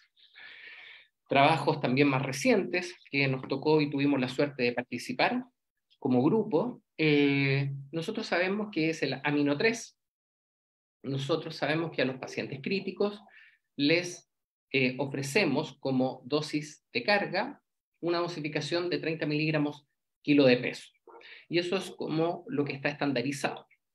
Fíjense que ya la dosificación calculada con 30 miligramos de kilo de peso, ya en promedio me entregaba, me permitía entregar una dosificación de 2 gramos, pero con una gran variabilidad. Y fíjense las concentraciones máximas o la gran variabilidad de las concentraciones máximas que se generaban con estas dosificaciones. Y solamente este grupo que tiene estas barras en gris son las que, desde un punto de vista farmacocinético, lograban buenas concentraciones. Y la mayoría de los pacientes no lograba las concentraciones que se deseaban con esa dosificación solamente ajustada por peso del paciente. En pacientes críticos también tenemos terapias dialíticas que, no, que nos van a retirar fármacos y nos pueden llevar a concentraciones subterapéuticas. También tenemos terapias extracorpóreas como ECMO, que hay antimicrobianos que van a ser afectados y hay otros que no van a ser afectados. Y por lo tanto, como farmacéuticos tenemos que tener estos conocimientos para poder anticiparnos y saber individualizar de mejor forma la terapia de cada uno de nuestros pacientes. En un trabajo que publicamos hace ya varios años atrás, nosotros, en el caso de la dosis de carga de vancomicina, quisimos evaluar distintos inicios en un grupo sin dosis de carga, en un, segundo grupo B con dosis de carga de vancomicina, pero ajustado solo por el peso del paciente, y en un grupo C una dosis de carga según las características farmacocinéticas del paciente crítico. Aquí aumentamos el volumen de distribución de la vancomicina en etapa beta, un 13%, ingresábamos dentro de la fórmula parámetros como clearance, eh, y por lo tanto no solamente el kilo de peso, sino que parámetros farmacocinéticos. Y fíjense lo que pasó cuando queríamos llegar a concentraciones de 15 a 20 microgramos por ml como concentración valle después de la primera dosificación de carga. Aquí no tuvimos, no logramos el objetivo, acá lo logramos pero con una tremenda dispersión. Y cuando lo hicimos con características de y parámetros propio del paciente crítico, logramos llegar a este rango terapéutico que nos planteamos. Por lo tanto, una dosificación basada en solamente el kilo de peso del paciente nos puede llevar a una tremenda dispersión de resultados. Cuando analizamos el área bajo la curva, nos ocurrió exactamente lo mismo. Por lo tanto, nosotros tenemos que individualizar la posología de nuestros pacientes críticos. ¿Y cómo lo hacemos? Bueno, el escenario común es tener una base que muchas veces está en las monografías y un análisis de la farmacocinética poblacional. Y si tenemos a lo mejor más suerte, podemos establecer como base una farmacocinética poblacional, pero específicamente de paciente crítico. Con esto nosotros vamos a tener parámetros poblacionales que nos van a permitir iniciar un esquema terapéutico. Y este esquema terapéutico nosotros lo podemos ir ajustando con eh, la creatinina sérica, no podemos ir ajustando con, eh, con el kilo de peso y vamos a establecer una dosificación final. Y eso es lo que se hace en la gran mayoría de los fármacos que utilizamos, no solamente en la unidad de cuidado intensivo, sino que todos los pacientes hospitalizados. Pero cuando colocamos el concepto de farmacocinética clínica, que es una monitorización farmacocinética a través de niveles, nosotros iniciamos nuestro trabajo igual que la forma anterior y comenzamos a dar una dosificación inicial. Sin embargo, tenemos la posibilidad de tomar niveles, niveles séricos, plasmáticos, sanguíneos, y estos niveles, a través de una simulación bayesiana, nos van a permitir establecer parámetros farmacocinéticos ya individualizados para nuestro paciente. Y con eso establecer una dosificación individualizada para el paciente crítico que nosotros queremos abordar desde un punto de vista terapéutico. Por lo tanto, acá fundamental va a ser la simulación bayesiana. Simulación bayesiana basada en el, eh, en el teorema de Bayes, que desde un punto de vista práctico lo que nosotros hacemos es generar probabilidades a posteriori basado en una probabilidad a priori. ¿Cuál es nuestra probabilidad a priori?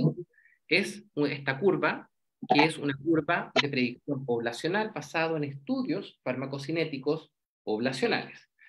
A los pacientes les tomamos niveles y luego de los niveles nosotros podemos ajustar a través de la metodología bayesiana esta nueva curva y por lo tanto nuevos parámetros farmacocinéticos. En el caso práctico, por ejemplo, de una simulación bayesiana de fenitoína, que nosotros lo hacemos comúnmente en nuestros pacientes críticos, tenemos una serie de dosificaciones que se le da al paciente, tomamos un nivel y estos parámetros farmacocinéticos de KM y Bmax, nosotros con el nivel lo hacemos ajustado a las características propias del paciente. Y lo que hacemos es generar nuevos parámetros farmacocinéticos ajustados a la realidad del paciente y poder generar una nueva curva farmacocinética, concentración en el tiempo, para poder hacer los ajustes de dosificación que el paciente requiere. Desde un punto de vista práctico, ¿cómo hacemos esto? Bueno, les quiero mostrar un caso clínico bastante simple, pero que ejemplifica muy bien lo que estoy explicando. Un hombre de 17 años con una neumonía asociada a ventilación mecánica por un estafilococo aureus meticilino resistente, está en nuestra UCI, le iniciamos tratamiento con vancomicina, dosis de carga, y después dejamos un gramo cada 12 horas. Pero a los cuatro días esta respuesta fue errática. El médico de infección intrahospitalaria en ese momento dijo, tenemos que cambiar la terapia a linesolid, ya que piensa que la concentración inhibitoria mínima era muy alta y por eso era la causa de la mala respuesta. Me solicitan interconsulta y yo voy a ver al paciente. Y esto es un mensaje fundamental, que para mí es fundamental y yo siempre lo transmito. Ir a ver al paciente, ir a, a ver cómo está el paciente, ir a interactuar también con los otros profesionales, ir a saber cuál ha sido la evolución del paciente. Yo a mis alumnos siempre les digo, ustedes no van a ver la ficha clínica del paciente, ustedes van a ver al paciente propiamente tal quiero que vean cosas tan gráficas como la orina del paciente, los débitos urinarios, la coloración de la orina para saber cómo se puede estar comportando la función renal. Que muchas veces la creatinina sérica no me expresa realmente la función renal del paciente, tal como muy bien lo explicó Manuel en su primera presentación. Entonces, solicitamos a microbiología la información de la concentración inhibitoria mínima y nosotros la obtuvimos y era de 0,75 microgramos por ml. Por lo tanto, era una concentración inhibitoria mínima que sí podíamos tratar. Y hicimos una evaluación farmacocinética con una simulación solamente con la información poblacional del paciente y nos dio que un área bajo la curva sobre la concentración inhibitoria mínima para este estafilococo aureus meticilino resistente era de 3,25. Acá hago un hincapié eh, profundo con respecto a que el AUC sobre la MIC sobre 400 es específicamente y está específicamente estudiado en Staphylococcus aureus meticilino resistente. El parámetro PKPD, por ejemplo, para Staphylococcus aureus, perdón, para Staphylococcus coagulasa negativos, el valor es menor. Por lo tanto, estamos hablando netamente de un SAM-R. Estas son las simulaciones farmacocinéticas que nosotros hacemos sin niveles y decidimos tomarle un nivel. Y él le tomamos un nivel plasmático Valle que nos dio un valor de 9,1 que nosotros lo consideramos bajo y decidimos a través de ese nivel hacer simulación bayesiana y ajustar la vancomicina no un gramo cada 12, sino que un gramo cada 8 horas. Con eso alcanzaríamos niveles Valle de 14,8 y un área bajo la curva sobre la SIN de 740. Y por lo tanto esa fue, acá están las simulaciones que hicimos y esa fue la estrategia que se propuso. Rechazamos en conjunto con el intensivista la indicación del Inesolid y confirmamos al médico eh, vancomicina continuar, pero con un gramo cada ocho horas. A los dos días de esta terapia, el paciente en mejores condiciones, curva febril a la baja, parámetro inflamatorio a la baja y menores requerimientos de FIO2. Por lo tanto, pudimos sacarlo del ventilador mecánico y trasladarlo a una unidad de menor complejidad como de tratamiento intermedio. Desde ese momento, nosotros completamos 10 días de tratamiento para darle una terapia efectiva y no necesitamos seguir midiendo niveles plasmáticos o niveles séricos en este caso, porque ya la clínica nos mostraba que con la nueva dosificación el paciente iba respondiendo. Y con esto logramos, por una parte, lo que siempre queremos con la farmacocinética clínica, logramos eh, obtener una terapia eficaz, una terapia segura que no nos generara eh, dosis tóxicas que pudieran impactar, por ejemplo, la función renal del paciente, y también una terapia que fuera costo efectiva. Vancomicina, el día de tratamiento con vancomicina es mucho, mucho menor que el día de tratamiento con linesolid, y por lo tanto, a través de la farmacocinética clínica logramos obtener estos tres objetivos. Ahora, ¿qué dice la evidencia en relación a la farmacocinética clínica? Y una de las moléculas más estudiadas eh, definitivamente ha sido vancomicina en el transcurso de las últimas décadas y es la que genera eh, más aceptación para poder ser monitorizada. ¿Y qué es lo que dice esta guía publicada en el año 2020?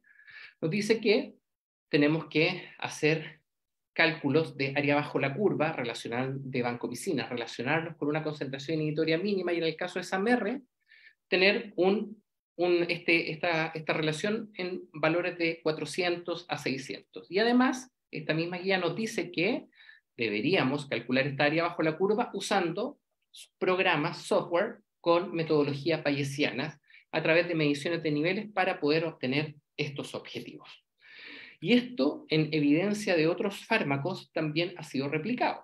Por ejemplo, la monitorización de piperacilina en pacientes neutropénicos eh, hematológicos con neutropenia febril de alto riesgo, por ejemplo, también ha demostrado que la monitorización farmacocinética versus no monitorizar farmacocinéticamente a los pacientes genera un impacto desde el punto de vista de la proporción de pacientes que logran alcanzar los parámetros PKPD que nosotros nos establecimos en estos pacientes.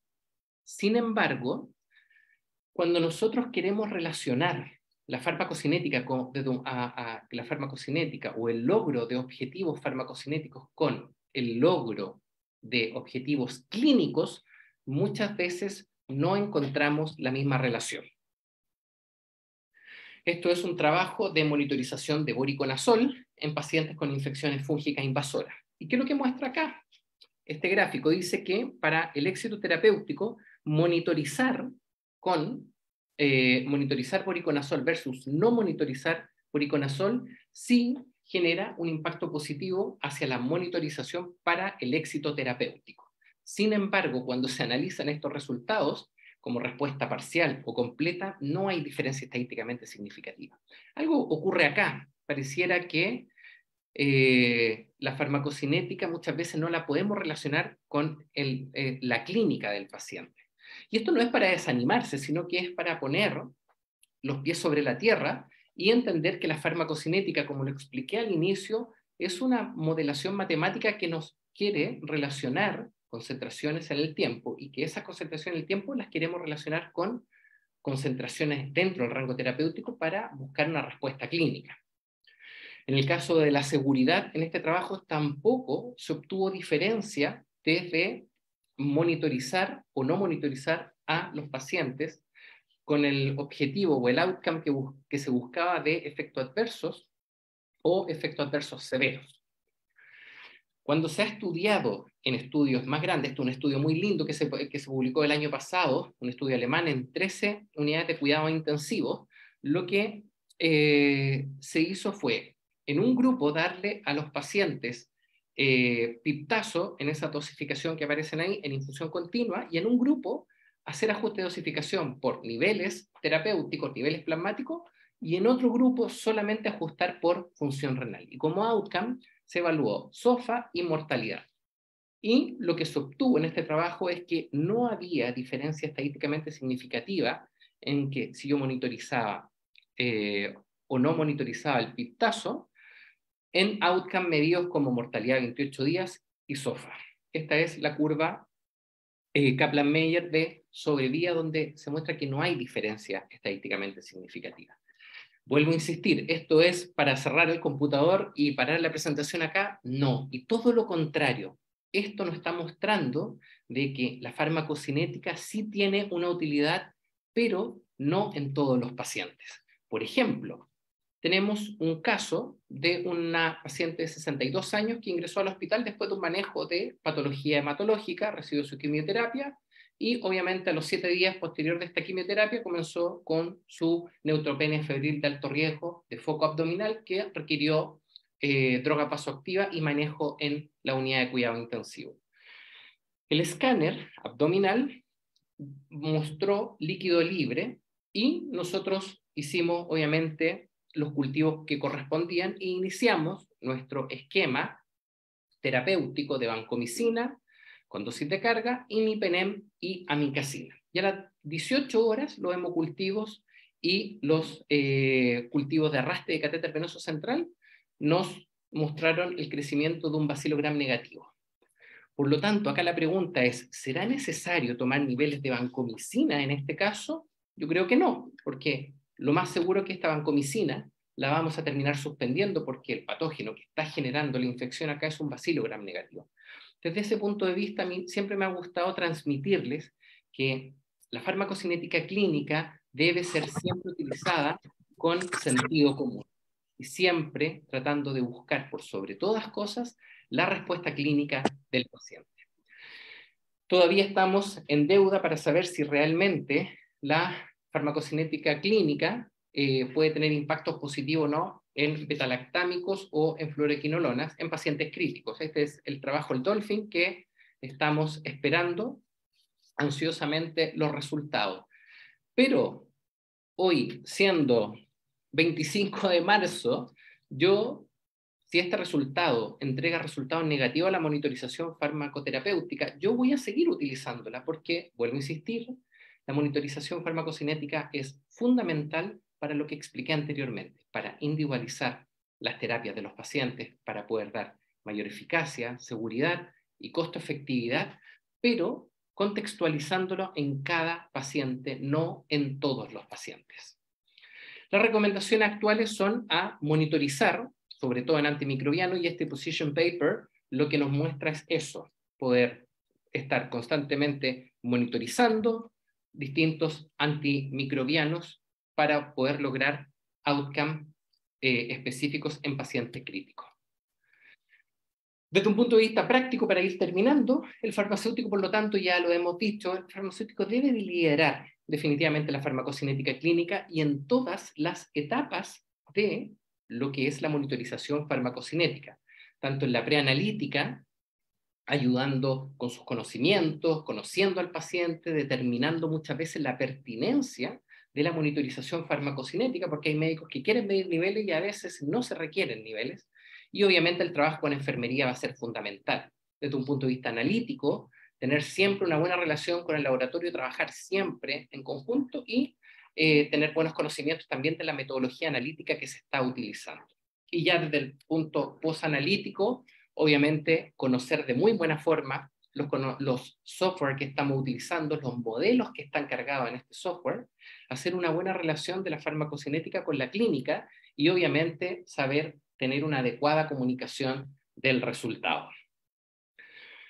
Finalmente, para terminar, quiero concluir diciendo que en las unidades de cuidado intensivo existe una gran variabilidad interpaciente y que la monitorización farmacocinética es fundamental para lograr terapias efectivas, seguras y costo efectivas. Sin embargo, es una estrategia compleja que requiere formación, conocimientos y muchas veces competencias que se van adquiriendo en el tiempo.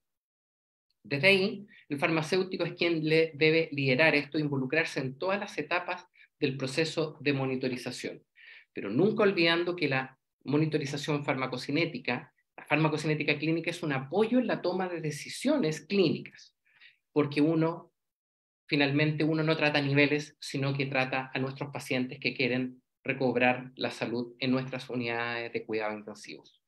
Muchas gracias a todos por su atención.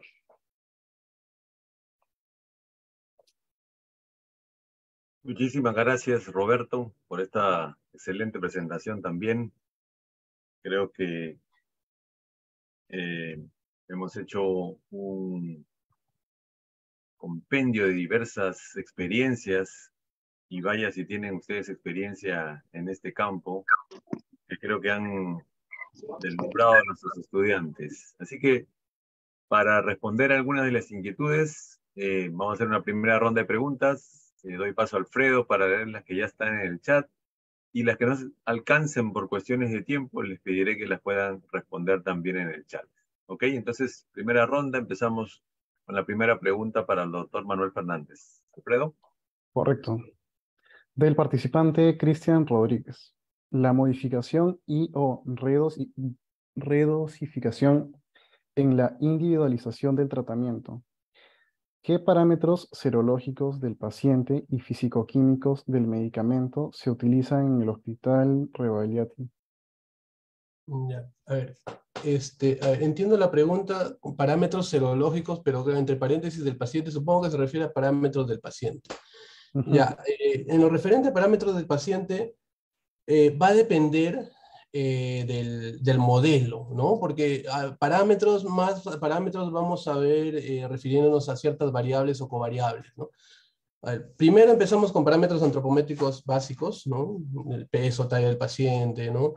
Eh, y luego ciertas covariables, ¿no? Que en algunos casos son covariables básicas, por ejemplo, en el caso de vancomicina, ¿no? Tenemos ahí creatinina, que es una covariable directa porque está influyendo directamente en los parámetros farmacocinéticos y em, otras variables adicionales, como por ejemplo si el paciente es un paciente crítico, si el paciente es un paciente obeso, si el paciente es un paciente en terapia de reemplazo renal, va a depender realmente, no va a depender del paciente y del modelo a utilizar. Y con respecto a los parámetros físico-químicos del medicamento, bueno, en el medicamento permite diferenciar, en el caso de vancomicina no mucho, solamente tenemos eh, vancomicina parenteral, pero hay otros medicamentos que sí te permite eh, escoger el medicamento que estás utilizando, ya sea parenteral, ya sea si el medicamento viene en presentación este, en tabletas, en cápsulas, en liberación retardada, etc. ¿no? Creo que más o menos va por ahí, pero va a ser variable realmente, dependiendo de cada medicamento que se está analizando. Ok, gracias, Manuel. En ganas del tiempo les pido ser completos en las respuestas. Pregunta para la autora Edurne. Del participante Cristian Rodríguez. ¿Cuán frecuente es tomar como parámetro a la farmacogenética en la decisión de la monitorización y dosificación a los pacientes? Muy bien, sin duda es una pregunta muy oportuna porque es algo que bueno, que, está empezando eh, o que está empezando a consolidarse, ¿no? y, aquí veríamos que según los centros puede ser bastante desigual. Eh, la verdad es que cada vez hay más fármacos en los que se recomienda y algunos en los que es mm, obligatorio ¿no? el hacer el estudio farmacogenético, pero realmente es una práctica que, está empezando a, desarrollarse y a consolidarse, ¿no? con lo cual dependerá mucho del centro y dependerá de las estrategias que tengan. En algunos sitios están haciendo más trabajos en el ámbito de la investigación, pero no tanto en el ámbito asistencial.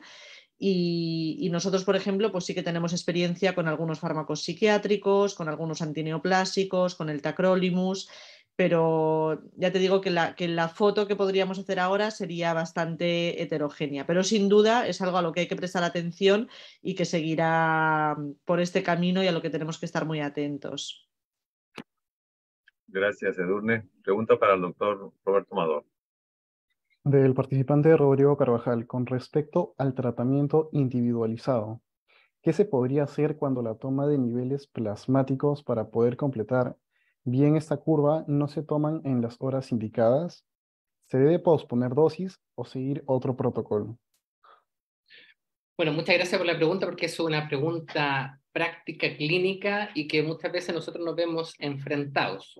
Lo fundamental, creo yo, es saber cómo se comporta el fármaco. Eso de partida.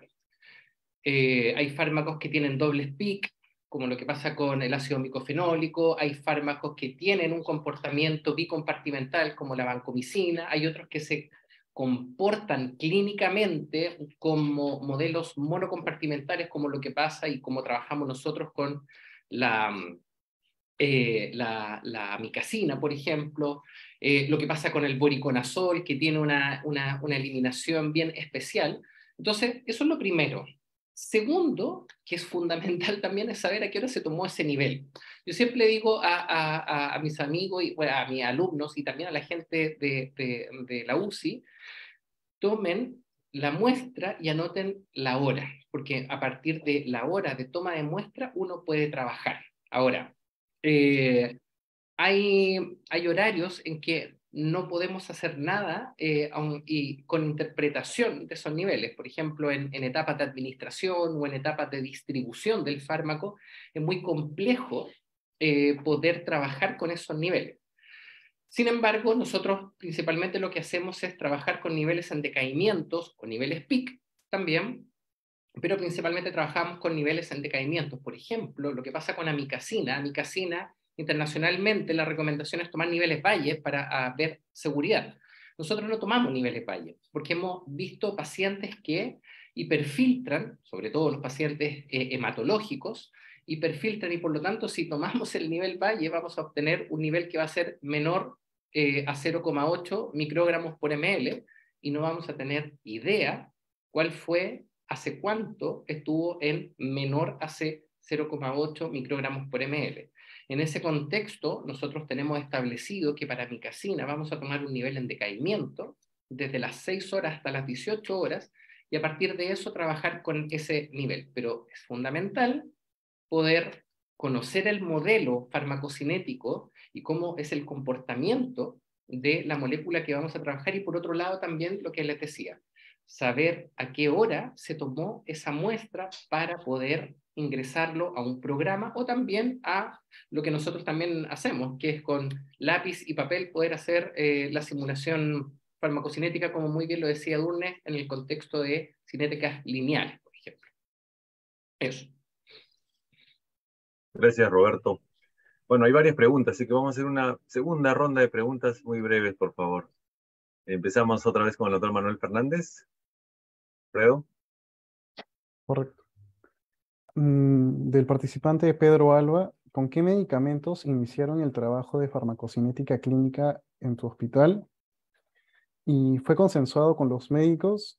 ¿Fue costosa la metodología de cuantificación?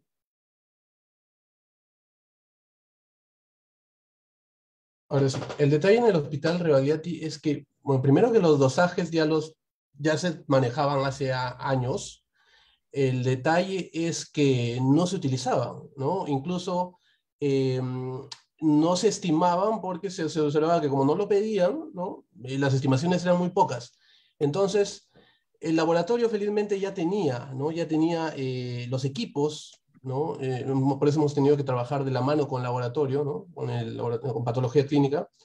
Y eh, hemos, nos hemos tenido que adaptar a lo que tenía, manejaba el hospital. Y precisamente el hospital ya dentro de su petitorio tenía vancomicina, hemos empezado con vancomicina, tenía medicamentos anticonvulsivos, eh, que también, por ejemplo, fenitoína, ácido valproico, y bueno, y el tacrolimus que se manejaba hace mucho tiempo, eso se, se sigue manejando. Entonces, eso lo hemos tenido que adaptar ahora a los modelos que disponíamos, ¿no? Por lo tanto, hemos iniciado de todas maneras vancomicina y anticonvulsivos, ¿no? Con esos dos grupos de medicamentos eh, nos hemos quedado.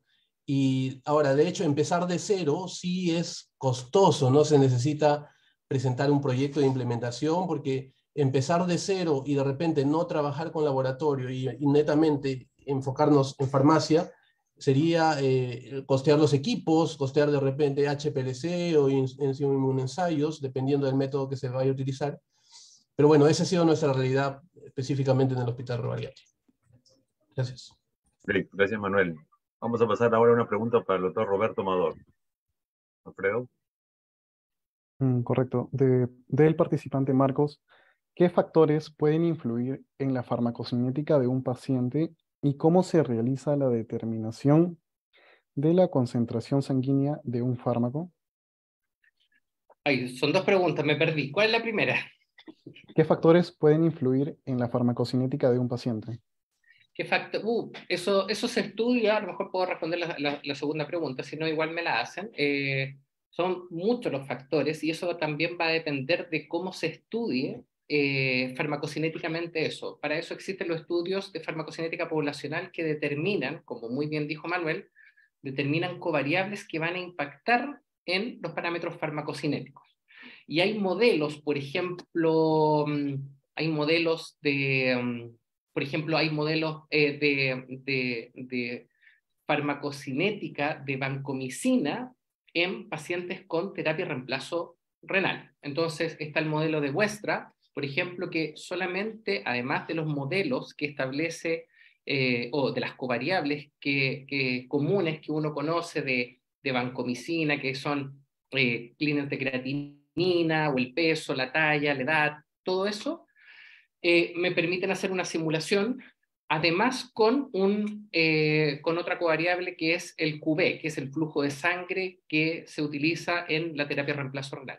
Pero hay modelos que son más complejos, como el de Kleise, por ejemplo, que eh, incluyen otras covariables, incluyen el QB, el QD, si es hemodiafiltración continua, incluyen eh, como covariable también el flujo de, reposición de hemodiafiltración, también incluyen en ese modelo eh, el, área de superficie que se utiliza eh, y que está relacionada a, los filtros que, van a utilizarse en estas terapias continuas. Por lo tanto, va a depender mucho de cómo se establezca eh, el modelo farmacocinético poblacional para saber cómo, se, cómo van a impactar estas covariables y qué covariables van a impactar en los parámetros farmacocinéticos. Pero hay de todo. Hay, hay modelos, por ejemplo, de boriconazol, que son modelos monocompartimentales y con eliminación de orden 1, eh, y que se utilizan en programas farmacocinéticos muy conocidos como el Dose Reacts, por ejemplo.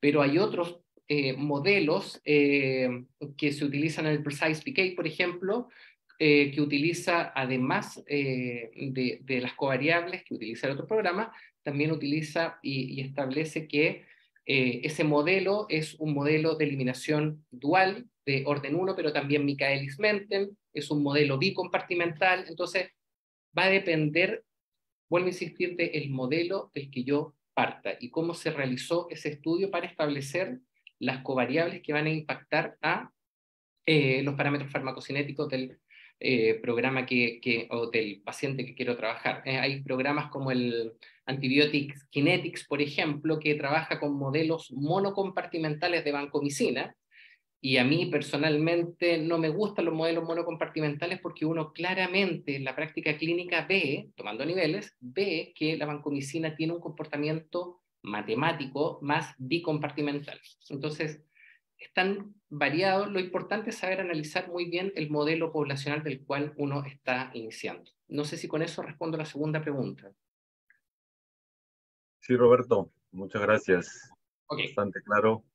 Y queremos en del tiempo terminar con una pregunta para Durne y un poco además como mensaje final, porque eh, para nosotros que recién empezamos, quizá para, bueno, nuestros amigos chilenos que ya tienen un buen recorrido, en el caso de ustedes eh, en Europa y en particularmente en España, con un alto desarrollo de la farmacia hospitalaria, eh, ¿cuál es el futuro? ¿Qué nos espera? ¿Qué, debe hacer el farmacéutico para prepararse y ser competente en este campo?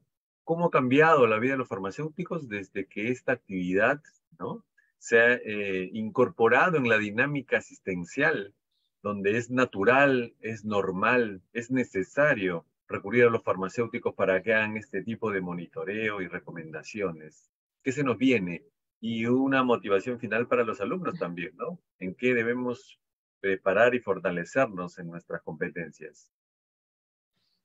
Muy bien, pues a ver, intentando ordenar las ideas, yo creo que la, formación es, es, mm. fundamental y la formación además eh, continua, ¿no? La actualización, puesto que no podemos quedarnos En, lo que se hacía hace, hace 10 años.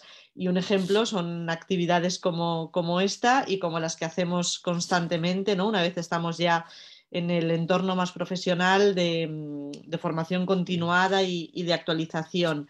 Yo creo a ver, la farmacocinética y yo es algo y, que he vivido ya, ya implantado ¿no? y, que además ha quedado muy bien reflejado con los testimonios que nos han dado desde Perú y desde Chile.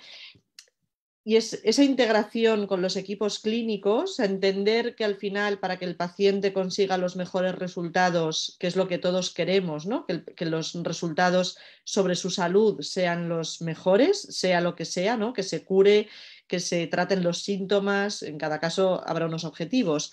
Eh, pasa por una atención multidisciplinar, pero para eso es importante ¿no? el, ganarse esa confianza, el demostrar esa necesidad y el demostrar esa utilidad. Y, para esto pues hay que conocer muy bien cuáles son las necesidades de los pacientes y, del resto de profesionales que, participan en estos equipos, ¿no? saber cuáles son las preguntas eh, para las que necesitan respuestas, ¿no? Y fijaros cómo nos han puesto ejemplos muy claros, ¿no? De cómo eh, si subimos a ver al paciente, el médico nos va a explicar determinadas cosas, la enfermera va a querer también determinada información, ¿no? Y entonces el poder trabajar eh, en armonía, ¿no? todos, todos juntos, es, la pieza fundamental para que esto tenga sentido. Yo a veces me he encontrado preguntando a algunos compañeros eh, que en los hospitales se determinan concentraciones de fármacos, pero luego nadie las interpreta. Pues eso no tiene ningún sentido, ¿no? hay que encontrar la forma de canalizarlo todo y que al final pues eh, todo revierta en, en, un beneficio para que ese paciente sea, esté mejor tratado.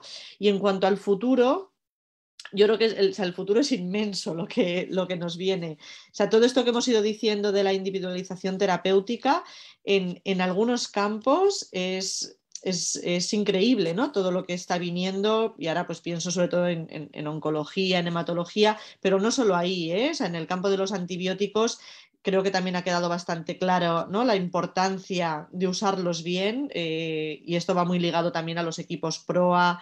Eh, sabemos que hay grandísimos problemas de resistencias, ¿no? Aquí hemos estado hablando de la vancomicina, pero como nos metamos a hablar de bacilos gram negativos, que a veces ya no sabemos con qué tratarlos, todo esto nos permite utilizar antibióticos que de otra manera se descartarían y, que gracias a estas pautas de individualización y de optimización, pues pueden servir para salvar la vida de un paciente, ¿no? Con lo cual, pues bueno, ahí queda mucho recorrido, la farmacogenética de la que hemos hablado, incluso eh, podríamos hablar de inteligencia artificial, ¿no? Que, que, sabemos que también nos podrá ayudar en todo esto. O sea que, bueno, yo creo que el, que el futuro casi no nos lo podemos ni imaginar, aunque sí que deberíamos eh, intentar anticiparnos.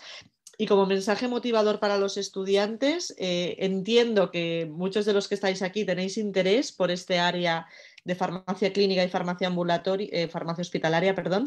Eh, y yo sin duda os animo a que sigáis por este camino si, realmente os gusta, sobre todo porque os va a poder dar una satisfacción profesional el, el poder trabajar conjuntamente con otros profesionales y sobre todo pensar que todo esto al final puede revertir en, una mejora de la salud de los pacientes que, vamos, que es algo que, nos defraudará, creo yo. Así que mucho ánimo y, ojalá podamos encontrarnos pronto donde sea, hablando de, farmacocinética o de cualquier otro aspecto de, la farmacoterapia.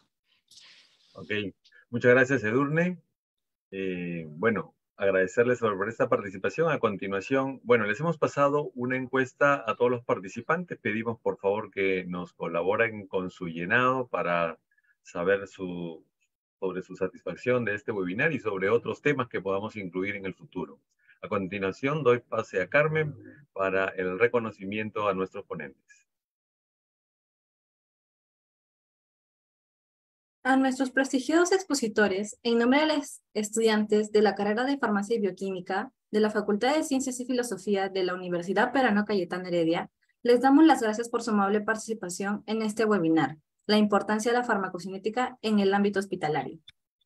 Agradecemos la presencia del doctor Manuel Fernández Puicán, químico farmacéutico en el Hospital Edgardo Rabiategui Martins, quien ha expuesto la importancia de la farmacocinética clínica en el uso de antimicrobianos.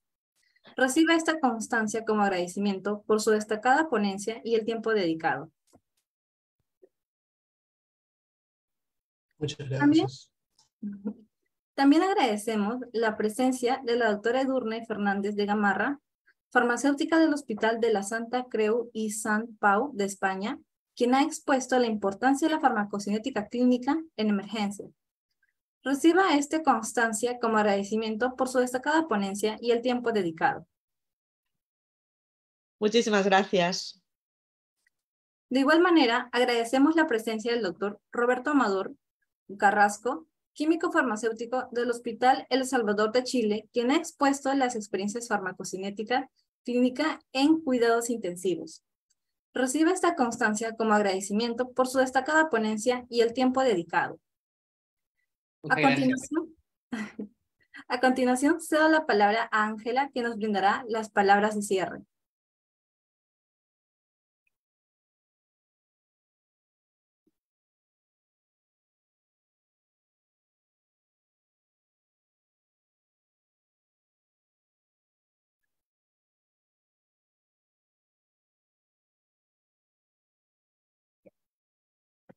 Buenas tardes, estimados ponentes y participantes. Mi nombre es Ángela Guamán, estudiante de la carrera de Farmacia y Bioquímica. Luego de escuchar las experiencias de nuestros ponentes, podemos concluir que la farmacocinética clínica es de un gran interés sanitario, cuyos objetivos son la individualización posológica y la optimización de los tratamientos farmacológicos, a fin de alcanzar la máxima eficacia terapéutica con la mínima incidencia de efectos adversos. Además, la farmacocinética clínica se utiliza para el monitoreo de diversos medicamentos como antimicrobianos o antipilépticos y en diferentes áreas como en emergencia, cuidados intensivos, entre otros. Por otro lado, se resalta la importancia del químico farmacéutico en la farmacocinética clínica, debido a que es nuestra profesión la que contiene amplios conocimientos y formación en el campo farmacológico, añadiendo que nuestra profesión promueve el uso efectivo y seguro del medicamento, ya que somos los expertos del medicamento. Por ello, tenemos una posición importante en el momento de interpretar y utilizar los parámetros farmacocinéticos en un paciente específico. Además, lo esperable es que la farmacocinética clínica se convierta en una herramienta con mayor utilización en el apoyo individualizado de las terapias hospitalarias. Por lo tanto, los invitamos a que se animen a incursionar en este campo de nuestra carrera profesional y realizar temas de investigación de ella. Finalmente, agradecemos a los ponentes, al doctor Manuel Fernández de Perú, a la doctora Edurne Fernández de España y al doctor Roberto Amador de Chile por compartir sus experiencias laborales, a los estudiantes de cada una de nuestras casas de estudios de farmacia bioquímica por participar también agradecer a PEFI Perú por la difusión del webinar. Finalmente, agradecer por el apoyo brindado para llevar a cabo este webinar a la Universidad Peruana Cayetano Heredia, a la doctora Carolina Ponce de León, jefa de la carrera de Farmacia y Bioquímica, y a la decana de la Facultad de Ciencias y Filosofía, la doctora María Rivera Chira, a quien doy pase para que dé las palabras de Krause. Muy buenas tardes con todos. Muchísimas gracias, Ángela. Eh, mis felicitaciones. En primer lugar, agradecer la participación de los doctores, eh, la doctora Edurne Fernández de Gamarra, el doctor Roberto Amador y el magíster Manuel Fernández. Yo creo que eh, el escucharlos nos da una idea muy clara del rol importante del químico farmacéutico en una especialidad de eh, el manejo individualizado de algunos pacientes, ¿no? que realmente requieren este manejo. Y el futuro, como ha dicho la, la doctora Edurne, el futuro que nos espera, ¿no? Yo creo que no hay palabras para poder describir a qué nos está llevando el uso de estas herramientas eh, que nos van a permitir darle un mejor tratamiento a nuestros pacientes.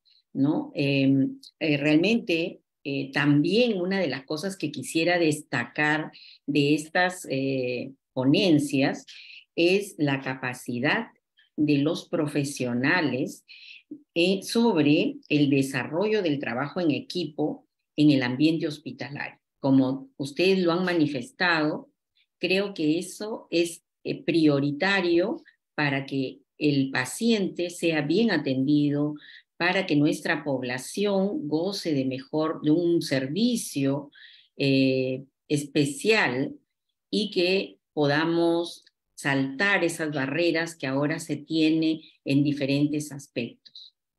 Con estas palabras quisiera realmente declarar clausurado este webinar, agradecer y también decirles que esperamos contar con su presencia acá en Perú para el estímulo de nuestros estudiantes y nuestros profesionales.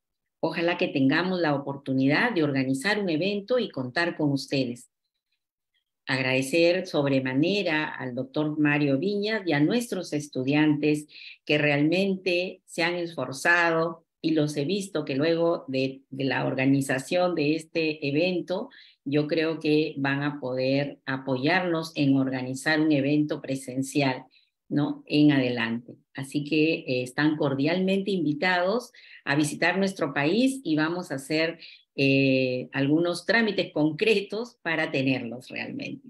Muchísimas gracias a todos y esperamos tenerlos pronto. Gracias a toda la audiencia también, eh, que veo que es de muy alto nivel por las preguntas que se han realizado. Muchas gracias y muy buenas tardes. Buenas noches para la doctora Edu. Gracias, doctora María. Muchas gracias. Le pido a todos los participantes encender su cámara para la foto del recuerdo. La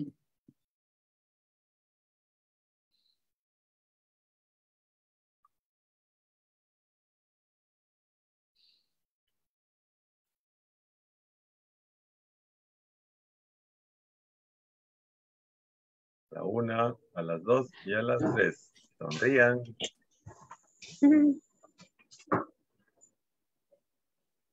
Siguiente grupo, porque son más de 100.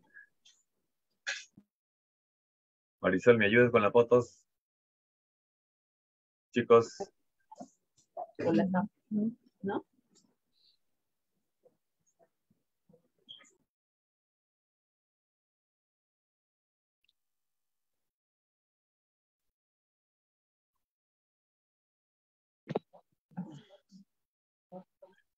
Muy bien, ya lo dijo nuestra decana, entonces nos vemos pronto. Muchísimas gracias, Roberto, Edurne, ha sido un gusto verlos desde, bueno, tan lejos, pero tan cerca, gracias a esta tecnología, de haber eh, escuchado con tan extraordinarias experiencias y siempre con esa didáctica docente que ustedes tienen.